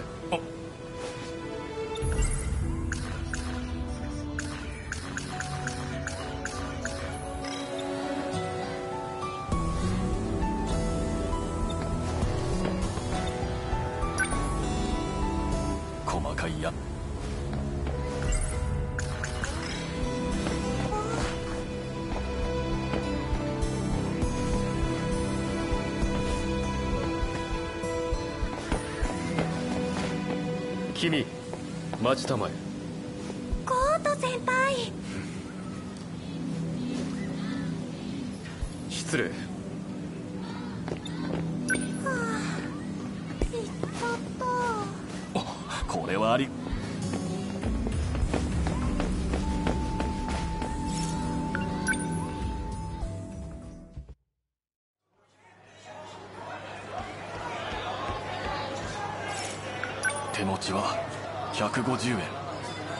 きそばパンください。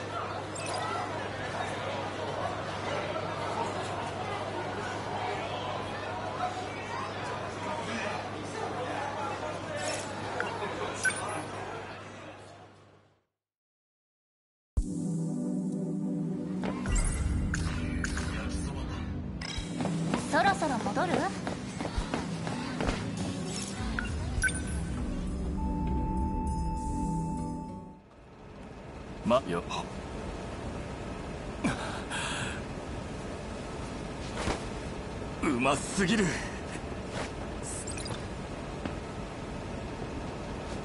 今日もいつものところで。ああ分かってる。じゃあ後で。今のは？別に誰でも。そうだ。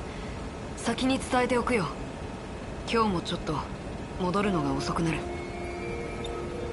ここのところ毎晩だな。どこへ行ってる？時坂神社か？別にどこだっていいだろ。おい。夜は先に何か食べておいてくれ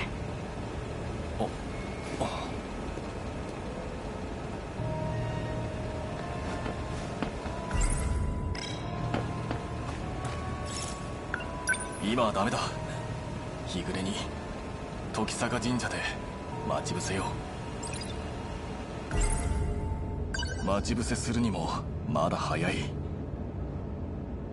しばらく時間を潰すか。しかし大きな目。金なんぞでこの俺がおとなしく待つとでも思っているのか。無性に腹が立ってきた。こんな金。今すぐ全部使ってやるわ。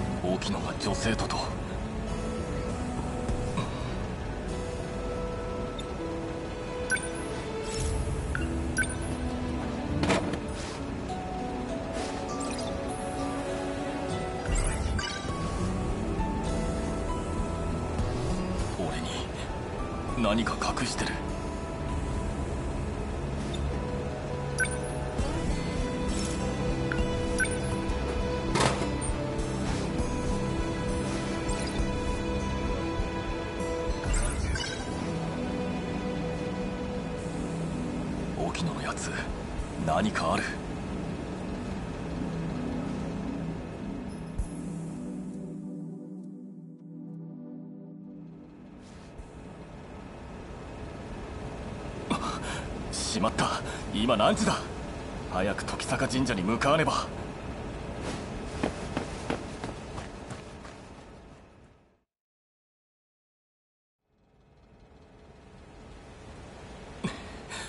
うたた寝して寝過ごすとは。すでに二人は行った後だろうな。ここで待って戻ってきたところを抑えるしかない。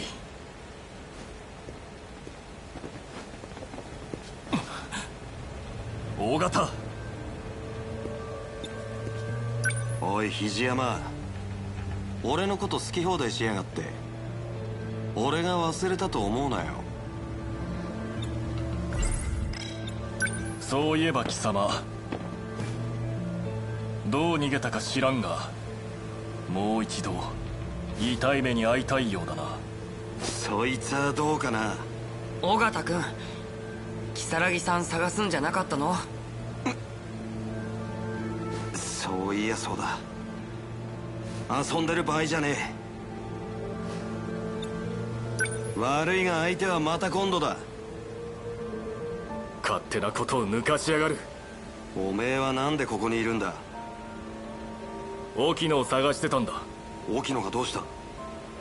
沢渡さんに聞いたんだけど如月さんは男の子と待ち合わせてたみたいだよ。何？あいつと二人で？昼間見たあの女性とか。如月のやつあいつと言ったのか？おそらくあそこだろうけど。知ってるのか？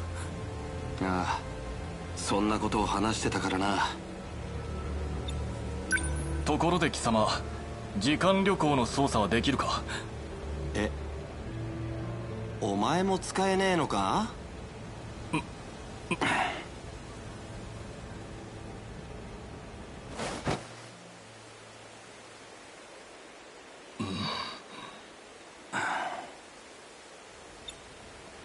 なんで同じ場所に隠れてんだ？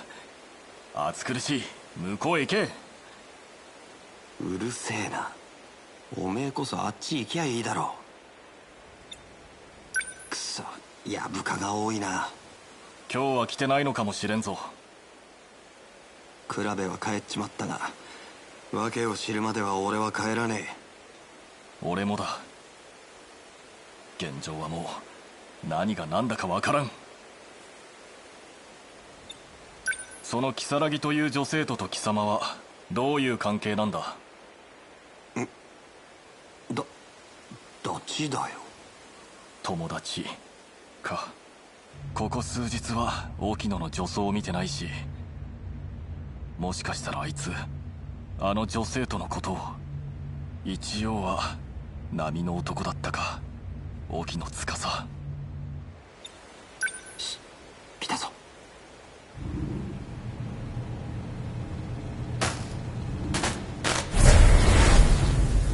嘘ついてるわけじゃないよ。本当に映像が。分かってる。アクセスの記録はあったからね。だがどうして反応がないんだ？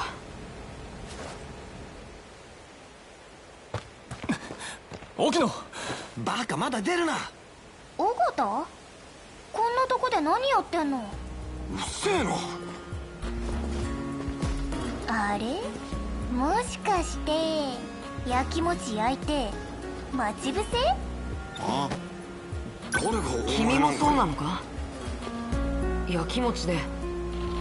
ババカを言うな。俺はただ。俺はただお前が心配だっただけだ。皆を救う方法があるなら言ったんだろ？近い。教えてほしいそそれがね分かった。ドロイド壊れてて。僕は救う方法を探してはいるが救えるかは分からない。バカね。だが僕が知り得たことを君にも共有しよう。今日はもう遅い。君たちは帰りたまえ。あふざけんな沖野。ああもう。帰り道で教えてあげるから。ね送ってほしいな命拾いしたな沖野。さあ行こうか。どこへ？知識の遠さ。そこが発端だ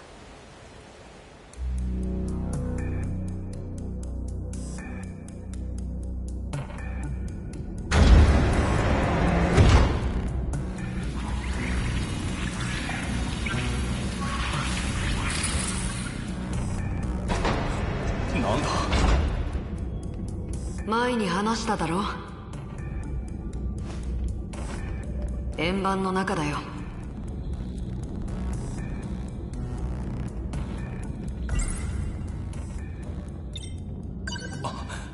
円盤。ここ。いいだろう。まずはこれを見てくれ。この海岸線は真ん中が足場橋だ。この地下300メートルにこれがある。円盤。直径はほぼ 30km なんてでかさだ。ダイモスというのがこれを狙って。そうだ。円盤はセクター5つまり昭和20年にも埋まっててダイモスに接触されて人々は消された。僕のいた時代も同様で唯一無事なのが昭和60年のあの場所だけだ。未来から過去へ40年ごとに攻撃を受けたと言っていたな。なぜ昭和60年をすっ飛ばしてさらに過去の俺の町を攻撃した。肘山君にしてはかなりいい質問だ。おい。昭和60年にいるからだよ。D コードの制御キーを持つ者が。奴らの命令者がね。命令者を避けてセクター5を先に攻撃した。最後に滅ぼされるのはセクター4つまり昭和60年が最終防衛エリアだ。命令は結局止められないのか？君も知っての通り命令者が誰に移ったかわからない。だが命令者の発信を阻害しても無駄だろう。別の誰かが新たな命令者になる。インナーロシターを持つ全員が候補で命令者だから。ということは俺も。命令者になりうる一人だね。俺たちをインナーロシタで改造したのは誰なんだ？目的は世界を滅ぼすためか。わからない。謎が多いと言ったろ。それに人を消すのはこの円盤だインナーロシターで判明してるのは2188年の一般的な情報技術で命令を出すための D コードはその中の小さな処理の一つということだ。小さな？不可解なのはそこさ。インナーロシターの処理は8割以上 D コード以外の何かに常に使われている何に使われているのか調べたが全く意味不明だ。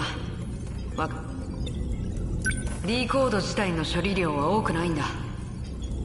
命令者を一人維持する働きと定期的に3箇所にアクセスしているだけ。アクセスの一つはここ。円盤の中枢。ユニバーサルコントロールだ。人が消える原因とも関係がありそうだがまだそれは解析中だ。アクセスの2つ目はセクター1 2105年の自動工場だ。奴らは工場を攻撃せず残した。そこでダイモスを生産している。騎兵もそこで作ったんだ。最後のアクセスはおそらく如月富が見たという衛星軌道の何かだ。そこからダイモスの設計データを引き出している。